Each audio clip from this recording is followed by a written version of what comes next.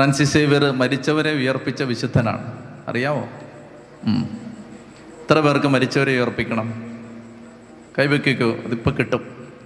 നന്നായിട്ട് കൈവയ്ക്കും? മരിച്ചവരെ ഉയർപ്പിക്കാൻ അഭിഷേകം കിട്ടണം. കഴിയാത്തിട്ട് ഒരു എളുപ്പവഴി ഞാൻ പറഞ്ഞുതരാം. തൊട്ട് മുമ്പിലുള്ള കസേരയിലോട്ട് കയറി ഇരുന്നാൽ മതി. തൊട്ട് മുമ്പിലുള്ള കസേരയിലോട്ട് കയറി ഞാൻ പറയാൻ കാര്യം എന്തെന്നറിയാം ഞാൻ ഒരിക്കൽ ധ്യാനകേന്ദ്രത്തിൽ ചോദിച്ചു എത്ര പേർക്ക് മരിച്ചവരെ ഉയർപ്പിക്കണം മിക്കവാറും എല്ലാവരും കൈവക്കി. പക്ഷേ ഒരു കസേരയിലോട്ട് മുമ്പോട്ട് കയറിയിരിക്കാൻ പറഞ്ഞ അനുസരിക്കാത്തവരാണ് മരിച്ചവരെ ഉയർപ്പിക്കാൻ നടക്കുന്നത്. മനസ്സിലായോ? അതായത് മുമ്പോട്ട് കയറിയിരിക്കാൻ പറഞ്ഞ അനുസരിക്കാത്തവരാണ് മരിച്ചവരെ ഉയർപ്പിക്കാൻ നടക്കുകയാണ് അതുകൊണ്ട് മരിച്ചവരെയൊക്കെ പിന്നെ ഉയർപ്പിക്കാം. ഇപ്പൊ തൽക്കാലം മുന്നോട്ട് കയറിയിരിക്കുക. എവിടെങ്കിലും ഒരു കസേര ഒഴിഞ്ഞു കിടപ്പുണ്ടെങ്കിൽ ദയവായിട്ട് മുന്നോട്ട് കയറിയിരിക്കുക. ഉച്ചത്തിൽ പറഞ്ഞേ ഹാലേലുയാ ഹാലേലുയാ. പ്രിയപ്പെട്ടവരെ കർത്താവ് നമുക്കായി ഒരുക്കി തരുന്ന ഈ നാല് രാത്രികൾ ദൈവത്തിന്റെ വലിയ അത്ഭുതകരമായ ശക്തിയും അനുഗ്രഹവും വചനവും വിടുതലുമെല്ലാം വന്ന് നിറയാൻ ആഗ്രഹിച്ച് നമുക്ക് പ്രാർത്ഥിക്കാം. നിങ്ങൾ എനിക്ക് വേണ്ടി പ്രാർത്ഥിക്കണം. ഞാൻ നിങ്ങൾക്ക് വേണ്ടി പ്രാർത്ഥിക്കും. നിങ്ങളെല്ലാവരെയും ഈശോയുടെ പരിശുദ്ധ നാമത്തിൽ ഈ സായാഹ്ന വചന ശുശ്രൂഷകളിലേക്ക് ഏറ്റവും സ്നേഹത്തോടെ ഞാൻ സ്വാഗതം ചെയ്യുന്നു. നമ്മൾ ഇന്ന് രാത്രിയിൽ ചിന്തിക്കാനായിട്ട് പോകുന്നത് ദൈവം നമ്മെ അനുഗ്രഹിക്കാൻ വിളിച്ചു കൂട്ടിക്കൊണ്ടു വന്നിരിക്കുന്നു എന്ന ഏറ്റവും അനുഗ്രഹിക്കപ്പെട്ട ഒരു യാഥാർത്ഥ്യമാണ്. കർത്താവ് നമ്മളെ വിളിച്ച് കൊണ്ടുവന്നിരിക്കുകയാണ്. ഇവിടെ കൊണ്ടുവന്നിരിക്കുന്നത് നമ്മെ അനുഗ്രഹിക്കാൻ വേണ്ടിയിട്ടാണ്. പുറപ്പാട് പുസ്തകം ഇരുപതാം അധ്യായം ഇരുപത്തിനാലാം തിരുവചനം. എന്റെ നാമം അനുസ്മരിക്കാൻ ഇടവരുത്തുന്നിടത്തെല്ലാം ഞാൻ നിങ്ങളുടെ പക്കലേക്ക് ഇറങ്ങി വന്ന് നിങ്ങളെ അനുഗ്രഹിക്കും. ഇത് നിങ്ങൾ വിശ്വസിക്കുന്നുണ്ടോ? വിശ്വസിക്കുന്നുണ്ടോ? അതായത് കർത്താവ് പറയുകയാണ് പുറപ്പാട് ഇരുപത് ഇരുപത്തിനാലിൽ പറയുകയാണ് എന്റെ നാമം അനുസ്മരിക്കാൻ ഞാൻ ഇടവരുത്തുന്നിടത്തെല്ലാം ഞാൻ നിങ്ങളുടെ പക്കലേക്ക് ഇറങ്ങി വന്ന് നിങ്ങളെ അനുഗ്രഹിക്കും. ഇപ്പം ദൈവത്തിന്റെ നാമം അനുസ്മരിക്കപ്പെടാൻ ഈ കാഞ്ഞൂർ പ്രദേശത്ത് കർത്താവിന്റെ നാമം അനുസ്മരിക്കപ്പെടാൻ ദൈവം ഇടവരുത്തുന്ന ഈ സന്ധ്യകളിൽ ഈ സന്ദർഭങ്ങളിൽ കർത്താവ് നമ്മ നമ്മുടെ ഇടയിലേക്ക് നാം ആയിരിക്കുന്ന സ്ഥലത്തേക്ക് ഇറങ്ങി വന്ന് നമ്മളെ അനുഗ്രഹിക്കും. കർത്താവ് ഇറങ്ങി വന്നാൽ കർത്താവ് ഇറങ്ങി വരുന്ന ഒരു സാഹചര്യത്തിന്റെ പ്രത്യേകത എന്താണെന്നറിയാമോ? പതിനാറാം സങ്കീർത്തനത്തിൽ അത് കാണാം. കർത്താവ് ഇറങ്ങി വന്ന് ദൈവസാന്നിധ്യം വന്ന് നിറഞ്ഞാൽ സംഭവിക്കുന്ന പ്രധാനപ്പെട്ടൊരു കാര്യം നമ്മൾ കാണുന്നത് പതിനാറാം സങ്കീർത്തനത്തിൽ പതിനൊന്നാമത്തെ വാക്യത്തിലുണ്ട്. പതിനാറാം സങ്കീർത്തനം പതിനൊന്നാം വാക്യം അങ്ങെനിക്ക് ജീവന്റെ മാർഗം കാണിച്ചു തരുന്നു അങ്ങയുടെ സന്നിധിയിൽ ആനന്ദത്തിന്റെ പൂർണതയുണ്ട്. എന്നൊക്കെ പറഞ്ഞേ അങ്ങയുടെ സന്നിധിയിൽ ആനന്ദത്തിന്റെ പൂർണതയുണ്ട്. ചെത്തി പറഞ്ഞേ അങ്ങയുടെ സന്നിധിയിൽ ആനന്ദത്തിന്റെ പൂർണതയുണ്ട്. ഇപ്പം ദൈവസാന്നിധ്യത്തിന്റെ ഒരു പ്രത്യേകത ദൈവം ഇറങ്ങി വന്നാൽ ആനന്ദത്തിന്റെ പൂർണത കിട്ടും. ഹബക്കുക്ക് പറയുന്നത് പോലെ അത്യവൃക്ഷം പൂക്കുന്നില്ലെങ്കിലും മുന്തിരിയിൽ പഴങ്ങളില്ലെങ്കിലും ഒലിവുമരത്തിൽ കായ്കളില്ലാതെയായാലും ആട്ടിൻകൂട്ടം ആലയിൽ അറ്റുപോയാലും കന്നുകാലികൾ തൊഴുത്തിൽ ഇല്ലാതെയായാലും ഞാൻ എന്റെ കർത്താവിൽ ആനന്ദിക്കും. കർത്താവിന്റെ ഒരു പ്രത്യേകത അതാണ് ദൈവം ഇറങ്ങി വന്നാൽ ആ ദൈവ സാന്നിധ്യത്തിൽ ആനന്ദമുണ്ട് ആനന്ദം. താമസിച്ചുള്ള ധ്യാനം തിരുവനന്തപുരത്ത് നടക്കുമ്പോൾ അതിന്റെ അവസാനത്തെ ദിവസം ഒരു ചെറുപ്പക്കാരൻ എന്നോട് പറഞ്ഞു അച്ചോ ഒരു കുംഭസാരം നടത്തിയിട്ട് എനിക്ക് മടങ്ങി പോകാൻ പറ്റൂ. എന്താണ് അവന്റെ കുംഭസാരമെന്ന് ഞാൻ കാതോർക്കുമ്പോൾ അവൻ എന്നോട് ഇങ്ങനെ പറഞ്ഞു കുംഭസാരമല്ല കുംഭസാരം പോലൊരു കാര്യം. അവൻ പറയുകയാണ് എനിക്ക് താമസിക്കാനുള്ള മുറി തന്നപ്പോൾ ഞാൻ ആദ്യം അന്വേഷിച്ചത് ആ മുറിയിൽ ഒരു കൊളുത്തുണ്ടോ എന്നാണ്. എന്തിനാ മോനെ കൊളുത്ത്? കൊളുത്ത് എന്തിനാണെന്ന് ചോദിച്ചാൽ അവൻ പറയുകയാണ് അതിൽ കെട്ടി ഞാന്ന് ചാവാൻ. ധ്യാനത്തിന് വന്നപ്പോൾ അവൻ ആദ്യത്തെ ദിവസം അവന്റെ മുറിയിൽ പ്രവേശിച്ച് അവൻ പരിശോധിച്ചത് ആ മുറിയിൽ ഒരു കൊളുത്തുണ്ടോ? അവന് കെട്ടിത്തൂങ്ങി മരിക്കാൻ. ഞാൻ പറഞ്ഞെടാ മഹാബാബി നിനക്ക് ലോകത്ത് കേരളത്തിൽ വേറൊരു സ്ഥലവും ഇല്ലേ മരിക്കാൻ? എന്നെ ഉപദ്രവിച്ചേ നീ അടങ്ങുമോ ഒന്ന് നീ മരിക്കരുത് രണ്ട് നീ ഇവിടെ മരിക്കരുത്. രണ്ടും പ്രധാനപ്പെട്ടതാണ്.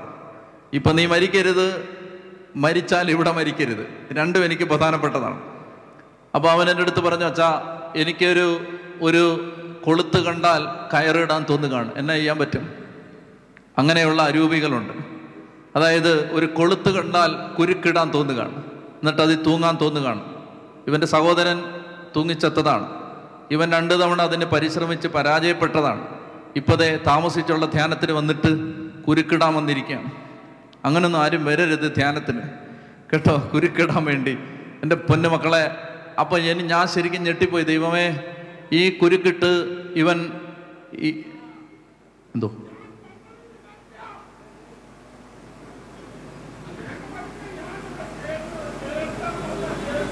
ഇങ്ങോട്ട് നോക്കി ഇങ്ങോട്ട് നോക്കിയോ ഒന്നുമില്ല ഒന്നുമില്ല. ഉച്ചത്തിൽ പറഞ്ഞേ ഹാലേ ലുയാ ഒന്നുമില്ല. അതായത് അപ്പൊ ഇങ്ങനെ ഈ കുരുക്കിടാൻ വേണ്ടി അവൻ വന്നിരിക്കുകയാണ്. ധ്യാനത്തിന്റെ അവസാന ദിവസം എന്നെ നോക്കി എന്നെ നോക്കിയോ ഒന്നുമില്ല എന്നെ നോക്കിയോ ഒന്നുമില്ല. ഇത്രയും വലിപ്പത്തിൽ ഞാൻ നിൽക്കുകയല്ലേ? എന്നെ നോക്ക്. അപ്പോൾ അവന് എന്റെ അടുത്ത് ഇങ്ങനെ പറയുകയാണ് ഞാൻ ഈ ധ്യാനത്തിന്റെ സമാപന ദിവസമാണ് എന്റെ അടുത്ത് വരുന്നത് ഞാൻ അവനോട് ചോദിച്ചു മോനെ എന്നിട്ട് നിനക്ക് കുരുക്കിടാനുള്ള ടെൻഡൻസി മാറിയോ? അവൻ പറയാണ് വ്യാഴാഴ്ച ദിവസം കർത്താവ് അച്ഛ ആരാധന നടക്കുന്ന സമയത്ത് എന്തോ ഒരു കറുത്ത സാധനം ഇറങ്ങിപ്പോയി. അവന്റെ വാക്കാത് എന്തോ ഒരു കറുത്ത സാധനം എന്റെ ദേഹത്തു നിന്ന് ഇറങ്ങിപ്പോയി ആരാധന നടക്കുന്ന സമയത്ത്. അപ്പോൾ സത്യത്തിൽ കർത്താവ് ഇല്ലാത്തടുത്താണ് ഈ അന്ധകാരം. കർത്താവ് ഇറങ്ങി വരാത്തടുത്താണ് ഈ ഇരുട്ട്. ആത്മഹത്യ എന്നൊരു ചിന്ത അവന്റെ മനസ്സിലേക്ക് വരുന്നത് കർത്താവിന്റെ സാന്നിധ്യം ഇറങ്ങി വരാത്ത ഒരു ഹൃദയം അവനുള്ളത് കൊണ്ടാണ്. ശ്രദ്ധിച്ചിരിക്കുക പതിനാറാം സങ്കീർത്തനം പതിനൊന്നാം തിരുവചനം അങ്ങയുടെ സന്നിധിയിൽ ആനന്ദത്തിന്റെ പൂർണതയുണ്ട്. അങ്ങയുടെ സന്നിധിയിൽ ആനന്ദത്തിന്റെ പൂർണതയുണ്ട്. ചെത്തി പറഞ്ഞേ ഹാലലുയാ ഹാലലുയാ. അതുകൊണ്ട് പ്രിയപ്പെട്ട മക്കളെ കർത്താവ് പറയുകയാണ് എന്റെ നാമം അനുസ്മരിക്കപ്പെടാൻ ഞാൻ ഇടവരുത്തുന്നിടത്തെല്ലാം ഞാൻ നിങ്ങളുടെ പക്കലേക്ക് ഇറങ്ങി വന്ന് നിങ്ങളെ അനുഗ്രഹിക്കും. വിശ്വസിക്കുന്നോ? കർത്താവ് ഇറങ്ങി വന്ന് അനുഗ്രഹിക്കും. അങ്ങനെ ഇറങ്ങി വരുമ്പോൾ ഒരു പ്രത്യേകത വചനം പറയുകയാണ് കർത്താവ് ഇറങ്ങി വരുമ്പോൾ ആനന്ദം ഉണ്ടാവും. മറ്റൊന്ന് നമ്മൾ കാണുന്നത് യശയ്യ പ്രവചനം മുപ്പത്തി അഞ്ചാം അധ്യായത്തിൽ കർത്താവ് വരുന്ന യേശു വരുന്നതിന് നൂറ്റാണ്ടുകൾക്ക് മുമ്പ് യേശു വരുന്നതിന് അനേക നൂറ്റാണ്ടുകൾക്ക് മുമ്പ് യേശയ്യ പ്രവചിച്ചു. കർത്താവ് ഇറങ്ങി വരുമ്പോൾ കർത്താവിന്റെ ശക്തി ഇറങ്ങി വരുമ്പോൾ എന്താണ് സംഭവിക്കുന്നത്? മുപ്പത്തിയഞ്ചാം യേശയ്യ മുപ്പത്തിയഞ്ചാം അധ്യായം മൂന്ന് മുതലുള്ള വാക്യങ്ങൾ. യേശയ്യ മുപ്പത്തിയഞ്ച് ഞാൻ ഒന്ന് മുതൽ വായിക്കുകയാണ്. ശ്രദ്ധിച്ച് നിങ്ങൾ കേൾക്കുക. വിജനപ്രദേശവും വരണ്ട പ്രദേശവും സന്തോഷിക്കും. വിജനദേശവും വരണ്ട പ്രദേശവും സന്തോഷിക്കും. കർത്താവ് വരുമ്പോൾ വിജനം ജനവാസമില്ലാത്തത് ഡെസേർട്ടഡ് ആളുകൾ താമസിക്കാത്തത് അന്യാധീനപ്പെട്ടത് മരുഭൂമി പോലെ ആയത് വിജനം. വിജനപ്രദേശം വരണ്ട പ്രദേശം ഊഷരഭൂമി വരണ്ട മണ്ണ് മഴ കാത്തു കിടക്കുന്ന മണ്ണ് വരണ്ട മണ്ണ് ഉണങ്ങിയ മണ്ണ് ഒന്നും മുളയ്ക്കാത്ത മണ്ണ് വരണ്ട ഭൂമി. വിജനദേശവും വരണ്ട പ്രദേശവും സന്തോഷിക്കും. മരുഭൂമി ആനന്ദിക്കും മരുഭൂമി ആനന്ദിക്കുകയും പുഷ്പിക്കുകയും ചെയ്യും. കുങ്കുമച്ചെടി പോലെ സമൃദ്ധമായി പൂവിട്ട് അത് പാടി ഉല്ലസിക്കും. ലബനോന്റെ മഹത്വവും കാർമലിന്റെയും ഷാരുവിന്റെയും പ്രതാപവും അതിന് ലഭിക്കും.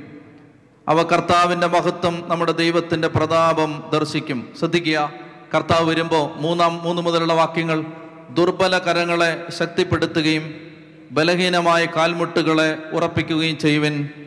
ഭയപ്പെട്ടിരിക്കുന്നവരോട് പറയുവിൻ ഭയപ്പെടേണ്ട ധൈര്യം അവലംബിക്കുവിൻ. ഇതാ നിങ്ങളുടെ ദൈവം പ്രതികാരം ചെയ്യാൻ വരുന്നു. ദൈവത്തിന്റെ പ്രതിഫലവുമായി വന്ന് അവിടുന്ന് നിങ്ങളെ രക്ഷിക്കും. എന്നിട്ട് പറയാണ് അഞ്ച് മുതലുള്ള വാക്യങ്ങൾ യേശു വരുന്നതിനെ പറ്റി യേശയ്യ നൂറ്റാണ്ടുകൾക്ക് മുമ്പ് പ്രവചിച്ച വചനങ്ങളാണിത്. യേശയ്യ മുപ്പത്തി അഞ്ച് അഞ്ച്. ശ്രദ്ധിക്കുക അപ്പോൾ അന്ധരുടെ കണ്ണുകൾ തുറക്കപ്പെടും. ബധിരന്റെ ചെവി അടഞ്ഞിരിക്കില്ല. മൂകന്റെ നാവ് സന്തോഷത്തിന്റെ ഗാനമുതിർക്കും. മുടന്തൻ മാനിനെ പോലെ കുതിച്ചു പായും. വരണ്ട ഭൂമിയിൽ അരുവികൾ പൊട്ടിപ്പുറപ്പെടും. മരുഭൂമിയിലൂടെ നദികൾ ഒഴുകും. ശ്രദ്ധിക്കാമോ?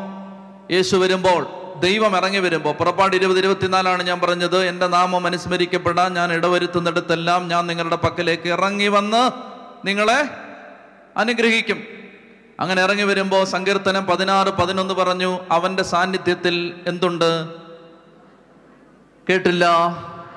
ആനന്ദത്തിന്റെ പൂർണതയുണ്ട്. ആനന്ദത്തിന്റെ പൂർണതയുണ്ട്. അവന്റെ സാന്നിധ്യത്തിൽ ആനന്ദത്തിന്റെ പൂർണതയുണ്ട്. മറ്റൊരു ദൈവസാന്നിധ്യത്തിന്റെ ഫലം യേശയ്യ പറയുകയാണ് യേശയ്യ മുപ്പത്തിയഞ്ചിൽ അപ്പോൾ അന്ധരുടെ കണ്ണുകൾ തുറക്കപ്പെടും. കർത്താവ് ഇറങ്ങി വരുമ്പോൾ തിമിരം മാറും അന്ധത മാറും കാഴ്ചപ്പാടുകൾ മാറും. ഞാൻ കഴിഞ്ഞ ആഴ്ച ഒരു കൺവെൻഷനിൽ ചെന്നപ്പോൾ വീൽ ചെയറിലിരിക്കുന്ന ഒരു സഹോദരി പന്ത്രണ്ട് കൊല്ലമായി ഇരിപ്പ് തുടങ്ങിയിട്ട് ആ സഹോദരി പറയുകയാണ് അച്ഛാ കൂട്ട ആത്മഹത്യക്ക് ഒരുമ്പെട്ട കുടുംബമാണ് ഞങ്ങളുടേത്. കൂട്ട ആത്മഹത്യ ആ കൂട്ടാത്മകത്തെക്കുറിച്ച് ചിന്തിച്ചുകൊണ്ടിരിക്കുന്ന സമയത്താണ് ഞങ്ങൾ വചനം കേൾക്കുന്നത്. ദൈവവചനം കേട്ടപ്പോൾ ഞങ്ങൾക്കിന്ന് ജീവിക്കാൻ സന്തോഷമുണ്ട് പ്രത്യാശയുണ്ട് പ്രതീക്ഷയുണ്ട്. ഞങ്ങൾക്ക് കർത്താവിന്റെ സാന്നിധ്യം അനുഭവിക്കാൻ പറ്റുന്നുണ്ട്. ഞങ്ങൾ ജീവിക്കും ഞങ്ങൾ രക്ഷപ്പെടും ഞങ്ങളുടെ കുടുംബത്തിന് അഭിവൃദ്ധി ഉണ്ടാവും.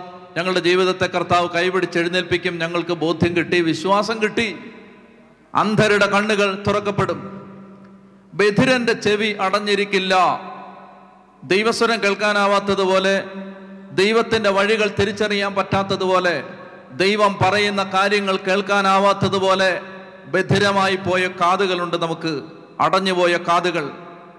അതുകൊണ്ട് ദൈവത്തിന്റെ സ്വരം കേട്ടില്ല. ദൈവം പറഞ്ഞത് കേൾക്കാൻ പറ്റിയില്ല. ലോകം പറയുന്നത് കേട്ടു പിശാജ് പറയുന്നത് കേട്ടു മനുഷ്യർ പറയുന്നത് കേട്ടു ദൈവം പറയുന്നത് കേൾക്കാനാവാത്ത വിധം ബധിരമായി പോയ കാതുകൾ ദൈവം ഇറങ്ങി വരുമ്പോൾ തുറക്കപ്പെടും.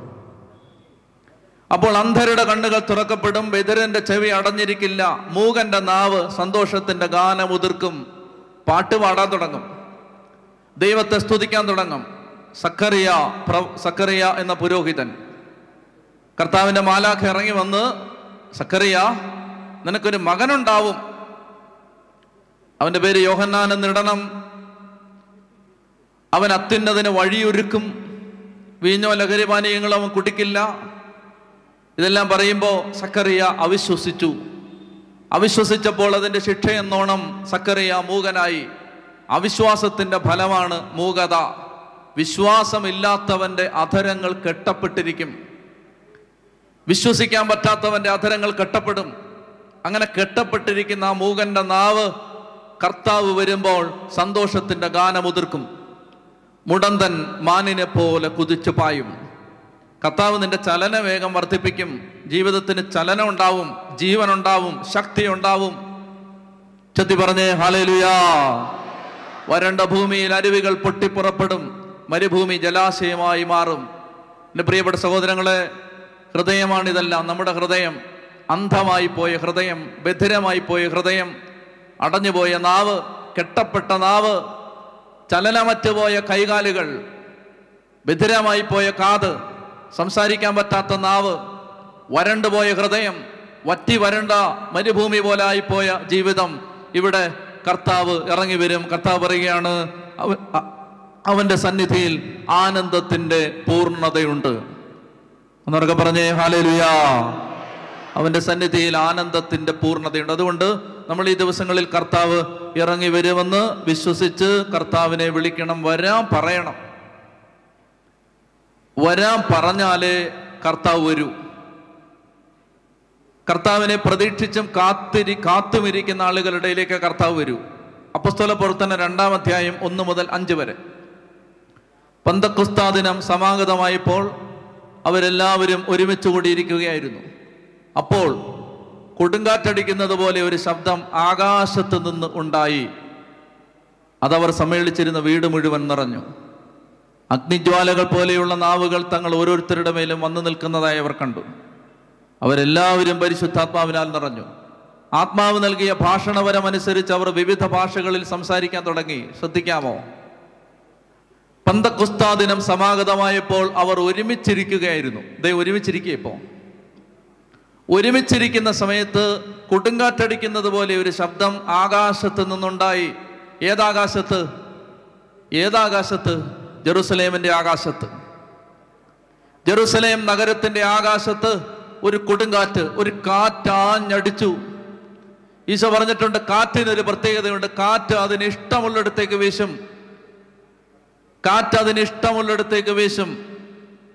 കാറ്റ് വീശുന്നത് എവിടെയാണെന്ന് വ്യക്തമായി മനസ്സിലാവുന്നത് അപ്പസ്തോല പ്രവർത്തന രണ്ടിലാണ്. ആ കാറ്റ് ജെറുസലേമിന്റെ ആകാശത്ത് ആ കാറ്റ് ആഞ്ഞടിച്ചുകൊണ്ടിരുന്നു കാത് തുറന്ന് കേൾക്കുക എന്റെ പ്രിയപ്പെട്ട മക്കളെ. കാഞ്ഞൂര് ഈ കൺവെൻഷൻ പന്തലിന്റെ മുകളിൽ ആകാശത്തും ഈ കാറ്റ് നമ്മളറിയാതെ ആഞ്ഞടിക്കുന്നുണ്ട്. ഈ കാറ്റിങ്ങനെ ഇതിന് മുകളിൽ നമ്മുടെ വിശ്വാസത്തിന്റെയും പ്രാർത്ഥനയുടെയും പ്രതീക്ഷയുടെയും പ്രത്യാശയുടെയും ആകാശങ്ങളിൽ ഈ കാറ്റ് ആഞ്ഞടിക്കുന്നുണ്ട്. ഈ കാറ്റിങ്ങനെ ആഞ്ഞടിച്ചുകൊണ്ടിരിക്കുകയാണ്. ഇനി നിങ്ങൾ ശ്രദ്ധിക്കേണ്ടത് ജെറുസലേമിന്റെ ആകാശത്ത് വീശിയടിച്ച് ഈ കാറ്റ് അന്നാസിന്റെ കൊട്ടാരത്തിലേക്ക് കയറി ചെന്നില്ല. കയ്യാപ്പായുടെ കൊട്ടാരത്തിലേക്ക് കയറി ചെന്നില്ല. ഹേറോദിന്റെയും പീലാത്തോസിന്റെയും അരമന മുറികളിലേക്ക് ഈ കാറ്റ് അടിച്ച് കയറിയില്ല. എന്തിനേറെ? ജെറുസലേം ദേവാലയത്തിനകത്തേക്ക് പോലും അന്ന് ഈ കാറ്റടിച്ച് കയറിയില്ല. പുരോഹിതന്മാരുടെ ഭവനങ്ങളെ ഈ കാറ്റ് ബൈപ്പാസ് ചെയ്ത് കടന്നുപോയി.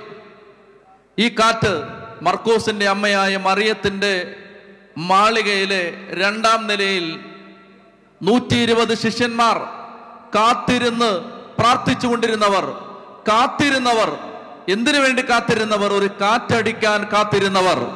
കൃപയുടെ ഒരു കാറ്റടിക്കാൻ അഭിഷേകത്തിന്റെ ഒരു കാറ്റടിക്കാൻ കൃപയുടെയും അഭിഷേകത്തിന്റെയും ആനന്ദത്തിന്റെയും ദൈവസാന്നിധ്യത്തിന്റെയും പരിശുദ്ധാത്മാവിന്റെയും കാറ്റടിക്കാൻ കാത്തിരുന്നവന്റെ വീട്ടിലേക്ക് ഈ കാറ്റടിച്ചു കയറി. കാത്തിരുന്നവന്റെ വീട്ടിലേക്ക്.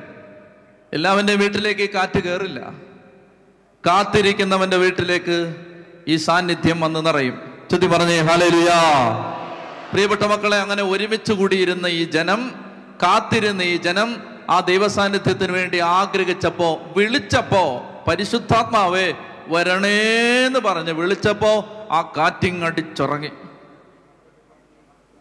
എന്നെ നിങ്ങൾക്ക് വിശ്വസിക്കാം. കണ്ടിട്ടുണ്ട് ഞാൻ. എന്റെ കണ്ണുകൊണ്ട് കണ്ടിട്ടുണ്ട് ഈ കാറ്റടിച്ച് കയറുന്നത്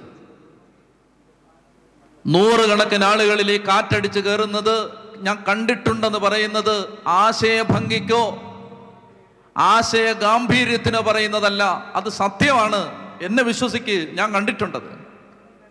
ഈ കാറ്റ് വിശ്വാസത്തിന്റെയും പ്രാർത്ഥനയുടെയും അഭിഷേകത്തിന്റെയും വിശുദ്ധിയുടെയും ആത്മാവിന്റെയും ഈ കാറ്റ് ആഞ്ഞടിച്ച് കയറുന്നത് ഞാൻ കണ്ടിട്ടുണ്ട്. പ്രിയപ്പെട്ട മക്കളെ അത് കയറുന്നത് മുഴുവൻ ആത്മാവിന്റെ അഭിഷേകത്തിന്റെ കാറ്റടിച്ച് കയറുന്നത് മുഴുവൻ കാത്തിരിക്കുന്നവരുടെ ചങ്കിലേക്കാണ്. അതുകൊണ്ട് ഈ കാഞ്ഞൂർ ദേശത്തെ ദൈവമക്കളോട് കർത്താവ് പറയുകയാണ് ഈ സാന്നിധ്യത്തിന് വേണ്ടി നിങ്ങൾ കാത്തിരിക്കണം. ഈ നാല് ദിവസങ്ങളിൽ കർത്താവ് ഇറങ്ങി വരും ഇറങ്ങി വന്നിരിക്കും. എന്റെ രക്തം കൊണ്ട് ഞാൻ എഴുതിത്തരാം. ഇറങ്ങി വന്നിരിക്കും ഇറങ്ങി വന്നിരിക്കും. അല്ലെങ്കിൽ ഈ ജീവിതം വ്യർത്ഥം ഈ പ്രസംഗം വ്യർത്ഥം ഈ പ്രാർത്ഥന വ്യർത്ഥം ഈ പള്ളി വ്യർത്ഥം നമ്മൾ കെട്ടിയ സംവിധാനങ്ങളെല്ലാം വ്യർത്ഥം അല്ലെങ്കിൽ നമ്മുടെ അധ്വാനങ്ങളെല്ലാം വ്യർത്ഥം. ഈ കാറ്റ് ഈ കാറ്റ് അടിച്ചിരിക്കും ചെത്തി പറഞ്ഞേ ഹാലേലുയാ. ഈ കാറ്റടിച്ചിരിക്കും അല്ലെങ്കിൽ നമ്മുടെ അധ്വാനം മുഴുവൻ ജീവിതം മുഴുവൻ വേസ്റ്റായില്ല അല്ലെങ്കിൽ ഈ കാറ്റടിച്ചില്ലെങ്കിൽ. പ്രിയപ്പെട്ട മക്കളെ അതുകൊണ്ട് ആഗ്രഹിക്കണം ദാഹിക്കണം. എന്തിനു വേണ്ടിയാണ്? കർത്താവ് എനിക്കൊരു അനുഭവം വേണം. ഈ പന്തൽ വിട്ട് ഞാൻ ഇറങ്ങുന്നത് വന്നതുപോലെ ആകരുത്. വന്നപ്പോഴുള്ള മനസ്സാവരുത്. ഞാൻ ഈ പന്തൽ വിട്ട് മടങ്ങിപ്പോകുമ്പോൾ എന്റെ ഹൃദയത്തിൽ ഈ കാറ്റടിച്ച് കയറണം. അങ്ങയുടെ സന്നിധിയിൽ ആനന്ദത്തിന്റെ പൂർണതയുണ്ട്. കർത്താവ് വരും. അതാണ് എനിക്ക് ഒന്നാമത് പറയാനുള്ളത്. കർത്താവ് വരും. അങ്ങനെ കർത്താവ് വന്ന ഒരു കഥ പറയുന്നുണ്ട് കർത്താവ് വന്നൊരു സംഭവം പറയുന്നുണ്ട് പുറപ്പാട് പുസ്തകം. കർത്താവ് അങ്ങനെ ഇറങ്ങി വന്ന ഒരു സംഭവം. അതെവിടെയാണെന്നറിയാമോ? മോശയെ ദൈവം മലമുകളിലേക്ക് വിളിച്ചു. സീനായി മലയുടെ മുകളിലേക്ക് മോശയെ വിളിച്ചു. പശ്ചാത്തലം നിങ്ങൾക്കറിയാം. ഈജിപ്തിന്റെ അടിമപ്പാളയത്തിൽ നിന്ന് ഒരു ജനതയെ മോശ ചെങ്കടലെ മുറിച്ച് അക്കരെ എത്തിച്ച് മരുഭൂമിയിലൂടെ നയിച്ചിങ്ങനെ കൊണ്ടുവരുമ്പോൾ പത്തൊമ്പതാം അധ്യായം എത്തുമ്പോൾ പുറപ്പാട് പുസ്തകം പത്തൊമ്പതാമത്തെ അധ്യായം എത്തുമ്പോൾ ദൈവമോശയോട് പറയും സീനായി മലയുടെ അടിവാരത്തിൽ വെച്ച് ഞാൻ നിങ്ങളുടെ ദൈവമാണ്. നിങ്ങൾ എന്റെ സ്വന്തം ജനമാണ്. ശ്രദ്ധിക്കുക ഞാൻ നിങ്ങളുടെ ദൈവമാണ്. നിങ്ങൾ എന്റെ സ്വന്തം ജനമാണ്. നിങ്ങൾ എന്റെ സ്വന്തം ജനമാണ്. ഞാൻ നിങ്ങളുടെ സ്വന്തം ദൈവമാണ്. നിങ്ങൾ ഒരു വിശുദ്ധ ജനം ഒരു പുരോഹിത രാജ്യം. ഇതെല്ലാം പറഞ്ഞിട്ട് കർത്താവ് പറയുകയാണ് മോശെ നീ മലമുകളിലേക്ക് കയറി വരിക. വേറെ ആരെയും നീ വിളിക്കരുത്. നീ തന്നെ വരണം. നീ തന്നെ ഈ മലമുകളിലേക്ക് കയറി വരണം. അങ്ങനെ ഈ മലമുകളിലേക്ക് മോശെ കർത്താവ് വിളിച്ചു കയറ്റി. നാൽപ്പത് രാവും നാൽപ്പത് പകലും ഈ ദൈവസാന്നിധ്യത്തിന്റെ മലമുകളിൽ മോശ കാത്തിരുന്നു പ്രാർത്ഥിച്ചു ഉപവസിച്ചും പ്രാർത്ഥിച്ചും കാത്തിരുന്ന മോശയ്ക്ക് കർത്താവ് ഒരു കൂടാരത്തിന്റെ മാതൃക കാണിച്ചു കൊടുത്തു. ആ കൂടാരത്തിന്റെ പേരാണ് സമാഗമ കൂടാരം. എന്താണ് ആ കൂടാരത്തിന്റെ പേര്? സമാഗമ കൂടാരം ചാബർനക്കിൾ. സമാഗമ കൂടാരം. സഭയാണിത്. യേശുവാണിത്. മനുഷ്യാത്മാവാണിത്. സമാഗമ കൂടാരം. ഈ സമാഗമ കൂടാരത്തിന്റെ മാതൃക കർത്താവ് കാണിച്ചു കൊടുത്തു. ഒരു മോഡൽ കാണിച്ചു കൊടുത്തു. ഇനി നമ്മൾ പുറപ്പാട് പുസ്തകത്തിൽ ഇരുപത്തിനാല് ഇരുപത്തഞ്ച് ഇരുപത്തി ആറ് ഇരുപത്തേഴ് ഇരുപത്തെട്ട് ഇരുപത്തൊമ്പത് മുപ്പത് മുപ്പത്തൊന്ന് മുപ്പത്തിമൂന്ന് മുപ്പത്തിനാല് മുപ്പത്തി ഒമ്പത് വരെ നാൽപ്പത് പുറപ്പാട് നാൽപ്പത് തീരുന്നത് വരെ ഇനി സമാഗമ കൂടാരം ഉണ്ടാക്കാനുള്ള ദൈവത്തിന്റെ നിർദ്ദേശങ്ങളും ഉണ്ടാക്കിയതിന്റെ ചരിത്രവുമാണ് പിന്നീട് പുറപ്പാട് പുസ്തകം മുഴുവൻ. നന്നായിട്ട് ശ്രദ്ധിച്ചിരിക്കണം. മർമ്മപ്രധാനമായ കാര്യമാണ് നന്നായിട്ട് ശ്രദ്ധിച്ചിരിക്കണം. മോശയ്ക്ക് ദൈവം ഒരു മാതൃക കാണിച്ചു കൊടുത്തു. സമാഗമ കൂടാരം. ഒരു കൂടാരം ഉണ്ടാക്കാൻ പറഞ്ഞു. ഞാനത് വിശദീകരിക്കാനല്ല നിൽക്കുന്നത്. മറിച്ച് എനിക്കൊരു കാര്യം പറയാനാണ്. ഈ സമാഗമ കൂടാരം ഉണ്ടാക്കാൻ മോശയോട് ദൈവം കൽപ്പിച്ചു. അപ്പൊ മോശ ചോദിച്ചു എങ്ങനെ ഉണ്ടാക്കും? അപ്പൊ കർത്താവ് പറഞ്ഞു ശ്രദ്ധിക്കുക. കർത്താവ് പറഞ്ഞു നീ ആളുകളുടെ അടുത്തേക്ക് ചെന്നിട്ട് അവരോട് പറയണം നിങ്ങളുടെ കയ്യിലുള്ള സ്വർണം എനിക്ക് താ. നിങ്ങളുടെ കയ്യിലുള്ള വെള്ളി എനിക്ക് താ. നിങ്ങളുടെ കയ്യിലുള്ള ഓട് എനിക്ക് താ. നിങ്ങളുടെ കയ്യിലുള്ള മരം എനിക്ക് താ. നിങ്ങളുടെ കയ്യിലുള്ള വിവിധ നിറത്തിലുള്ള നൂലുകൾ എനിക്ക് തരിക. നിങ്ങളുടെ കയ്യിലുള്ള പാത്രങ്ങൾ എനിക്ക് തരിക. വിലപിടിപ്പുള്ള ആഭരണങ്ങൾ എനിക്ക് തരിക. അങ്ങനെ ജനം തങ്ങളുടെ കയ്യിലുള്ള സ്വർണം വെള്ളി ഓട് മരം വിവിധ തരത്തിലുള്ള നൂൽ വസ്ത്രങ്ങൾ ഇതെല്ലാം കൊടുത്തു കഴിയുമ്പോൾ ഇനി ശ്രദ്ധിക്കുക ഇതെല്ലാം കൊടുത്തു കഴിയുമ്പോൾ ജനം തന്ന സ്വർണം കൊണ്ട് ജനം തന്ന വെള്ളി കൊണ്ട് ജനം തന്ന മരം കൊണ്ട് ജനം തന്ന ഓട് കൊണ്ട് ജനം തന്ന നൂൽ കൊണ്ട് ജനം തന്ന സാധനങ്ങൾ കൊണ്ട്. പുറപ്പാട് മുപ്പത്തിയെട്ടിൽ നമ്മൾ വായിക്കും സമാഗമ കൂടാരത്തിന്റെ മുറ്റത്ത് ശുശ്രൂഷ ചെയ്തിരുന്ന ചേച്ചിമാര് മുഖം നോക്കാൻ ഉപയോഗിച്ചിരുന്ന കണ്ണാടി വരെ കൊടുത്തു അവർ. മുഖം നോക്കാൻ വെച്ചിരുന്ന കണ്ണാടി വരെ ഓട്ട് കണ്ണാടി അതുവരെ കൊടുത്തു. അങ്ങനെ ജനത്തിന്റെ കയ്യിലുള്ള സ്വർണം വെള്ളി ഓട് മരം ഇതെല്ലാം വാങ്ങിച്ചു കൂട്ടിയിട്ട് മോശ ദൈവം പറഞ്ഞ പ്രകാരം ഒരു കൂടാരം ഉണ്ടാക്കിയപ്പോ ആ കൂടാരത്തിലേക്ക് പുറപ്പാട് നാൽപ്പതിൽ ആ കൂടാരത്തിലേക്ക് ദൈവമഹത്വത്തിന്റെ പരിശുദ്ധ സാന്നിധ്യം ഇറങ്ങി വന്നു. ശ്രദ്ധിക്കുക സ്വർണം ആരുടെയാണ്? സ്വർണം നിങ്ങളുടെയാണ്. വെള്ളി വെള്ളി നിങ്ങളുടെയാണ്. മരം മരവും നിങ്ങളുടെയാണ്. ഓട് നിങ്ങളുടെയാണ്. നൂലോ നിങ്ങളുടെയാന്നേ. പക്ഷെ സ്വർണം നിന്റെ കയ്യിൽ ഇരുന്നാൽ വെള്ളി നിന്റെ കയ്യിൽ ഇരുന്നാൽ ഓട് നിന്റെ കയ്യിൽ ഇരുന്നാൽ മരം നിന്റെ കയ്യിൽ ഇരുന്നാൽ നൂൽ നിന്റെ ഇരുന്നാൽ ഈ ഓട്ട് കണ്ണാടി നിന്റെ ഇരുന്നാൽ നിനക്കൊറ്റയ്ക്ക് ഉണ്ടാക്കാൻ പറ്റാത്തതൊന്ന് നീ ഒരുമിച്ച് വന്ന് നീ ഒരു കൂട്ടായ്മയിൽ ഒരു സഭയിൽ നീ ഒരുമിച്ച് വന്ന് നീ നിന്റെ കയ്യിലുള്ളത് എടുത്തു കൊടുത്ത് ദൈവം പറഞ്ഞ വിധത്തിൽ ഒരു മാതൃക ഉണ്ടാക്കിയപ്പോൾ നിനക്കൊറ്റയ്ക്കുണ്ടാക്കാൻ പറ്റാത്തതൊന്ന് ആകാശത്ത് നിന്നും ഇറങ്ങി വന്നു. ചെത്തി പറഞ്ഞേ ഹാലേലുയാ അതായത് ഈ കൺവെൻഷൻ ദിവസങ്ങളിൽ നിങ്ങൾ നിങ്ങളുടെ അധ്വാനം നിങ്ങളുടെ സമയം നിങ്ങളുടെ ആരോഗ്യം നിങ്ങളുടെ സ്വരം നിങ്ങളുടെ പാട്ട് നിങ്ങളുടെ പ്രാർത്ഥന നിങ്ങളുടെ പരിഹാരം നിങ്ങളുടെ പ്രായച്ചിത്തം. പക്ഷെ നിങ്ങളുടെ ഒറ്റയ്ക്ക് നിങ്ങളുടെ കയ്യിലിരുന്നാൽ നിങ്ങളുടെ വീട്ടിൽ അതുകൊണ്ട് നിങ്ങൾ ഒറ്റയ്ക്ക് ഇരുന്നാൽ ഉണ്ടാവാത്തതൊന്ന് നിങ്ങൾ ഒരുമിച്ച് വന്ന് ഒരുമിച്ച് ഇത് സമർപ്പിക്കുമ്പോൾ സമാഗമ കൂടാരത്തിന്റെ മീതെ ദൈവമഹത്വം ആദ്യമായി ഇസ്രായേൽ ജനത്തിന് വിസിബിളായ വിധത്തിൽ ദൈവമഹത്വം ഇറങ്ങി വന്നതുപോലെ ഈ കാഞ്ഞൂർ ദേശത്ത് കർത്താവ് ഇറങ്ങി വരും. ചൊത്തി പറഞ്ഞേ ഹാലേലുയാ.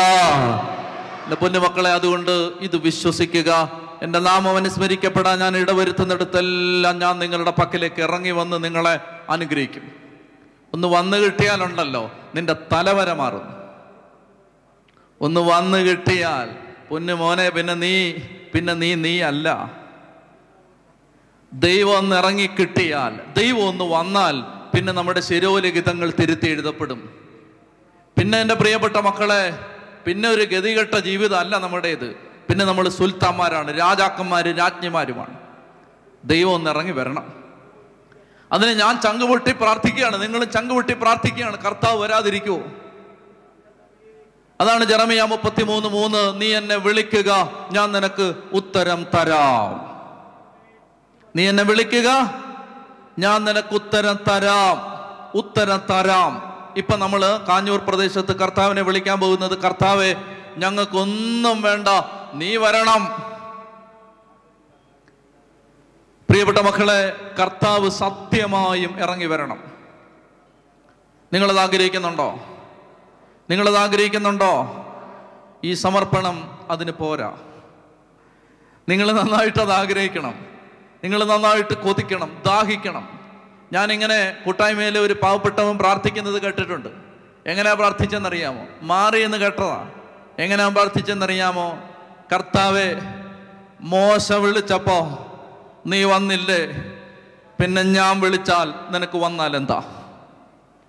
കർത്താവെ അന്തോണീസിന്റെ കയ്യിൽ നീ വന്നിരുന്നില്ലേ? പിന്നെ എന്റെ കയ്യിൽ വന്നിരുന്നാൽ നിനക്കെന്താ?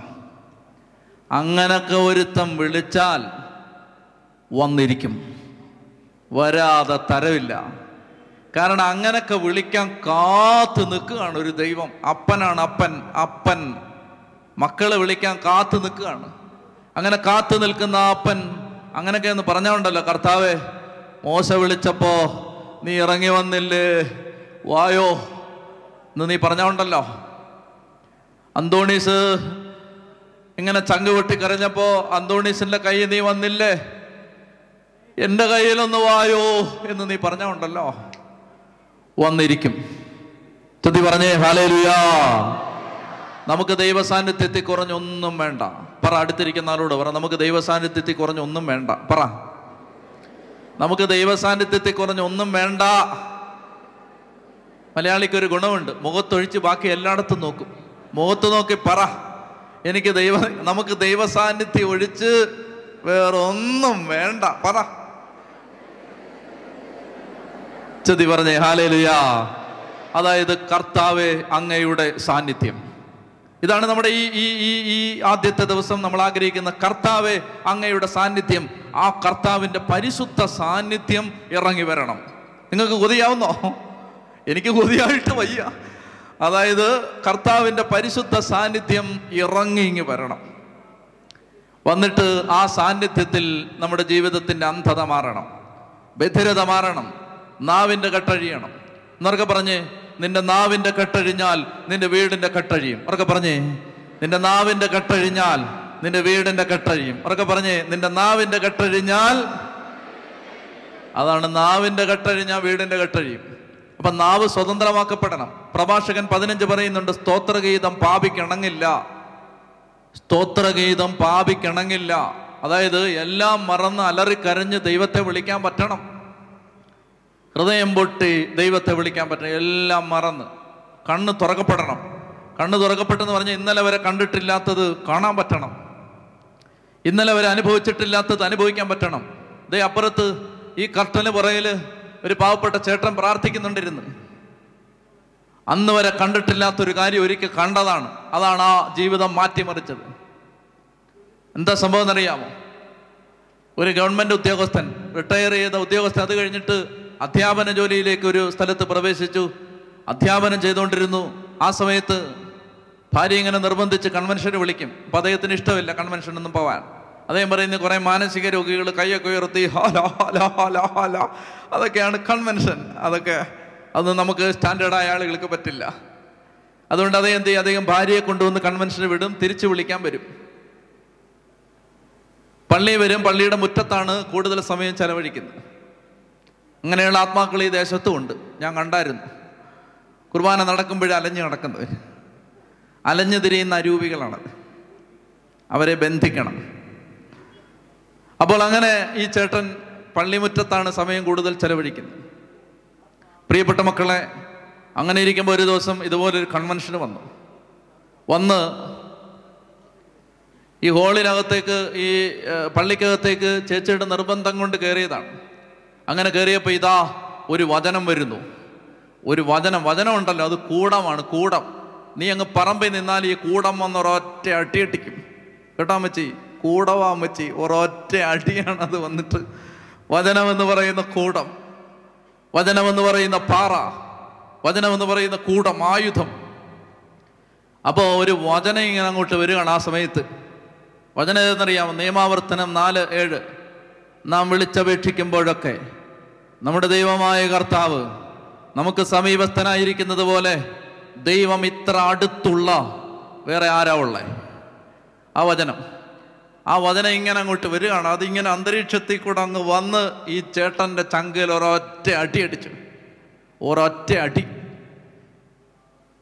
പ്രിയപ്പെട്ട മക്കളെ നാം വിളിച്ചപേക്ഷിക്കുമ്പോഴൊക്കെ നമ്മുടെ ദൈവമായ കർത്താവ് നമുക്ക് സമീപസ്ഥനായിരിക്കുന്നത് പോലെ ദൈവം ഇത്ര അടുത്തുള്ള വേറെ ഏത് ജനതയാണുള്ളത്? ആ വചനം വന്ന് ചങ്കിനകത്തേക്ക് ഇങ്ങോട്ട് കയറിയപ്പോൾ പിന്നെ അനങ്ങാൻ പറ്റാതായി. പിന്നെ കണ്ണടഞ്ഞു പിന്നെ കൈ പൊങ്ങി പിന്നെ നാവിന്റെ കെട്ടഴിഞ്ഞു പിന്നെ കുടുംബത്തിന്റെ കെട്ടഴിയാൻ തുടങ്ങി. അങ്ങനെ സ്തുതിച്ചുകൊണ്ടിരിക്കുമ്പോൾ അങ്ങനെ അങ്ങോട്ട് സ്തുതിച്ചുകൊണ്ടിരിക്കുന്ന സമയത്ത് ഇതാ ആരാധനക്കിടയിൽ സന്ദേശം വിളിച്ചു പറയുന്നു ഒരു സഹോദരൻ ഇതാ ഈശോയെയും പരിശുദ്ധ കന്യകാമറിയത്തെയും കണ്ടുകൊണ്ട് കരഞ്ഞുകൊണ്ടിരിക്കുകയാണ് എന്ന് വിളിച്ചു പറയുമ്പോൾ ഈ സഹോദരൻ കുരിശിൽ തറച്ച തറയ്ക്കപ്പെട്ട ക്രൂശിതനായ കർത്താവിനെയും പരിശുദ്ധ അമ്മയെയും ജീവിതത്തിൽ ആദ്യമായി മനസ്സിൽ ഹൃദയത്തിൽ ദർശനത്തിൽ കണ്ടുകൊണ്ടിരിക്കുകയായിരുന്നു. ഒറ്റയടി അതോടെ ജീവിതം മാറി. ഇപ്പൊ തിരുവനന്തപുരത്തെ നിത്യാരാധന ചാപ്പലുകളിൽ നിന്ന് ആളുകൾ ഇറക്കി വിടുകയാണ്. കാരണം പോവില്ല. രാത്രി അത് പൂട്ടാൻ അതായത് രാത്രിയൊക്കെ പൂട്ടുന്ന ആരാധന ചാപ്പലുകളുണ്ട്. അത് പൂട്ടാൻ വരുന്നവർ നിർബന്ധിച്ച് പൊന്ന് സാറേ ഒന്ന് ഇറങ്ങിപ്പോന്ന് പറഞ്ഞ് ഇറക്കി വിടുകയാണ്. കാരണം ഈ സാന്നിധ്യത്തിൽ നിന്ന് ഇറങ്ങിപ്പോൻ പറ്റുന്നില്ല. കയ്യും പൊക്കി അങ്ങനെ ഇരുന്ന മണിക്കൂറുകൾ ഇരിക്കും. പതിനെട്ട് മണിക്കൂർ വരെ കണ്ടിന്യൂസ് ഇരുന്നിട്ടുണ്ട്.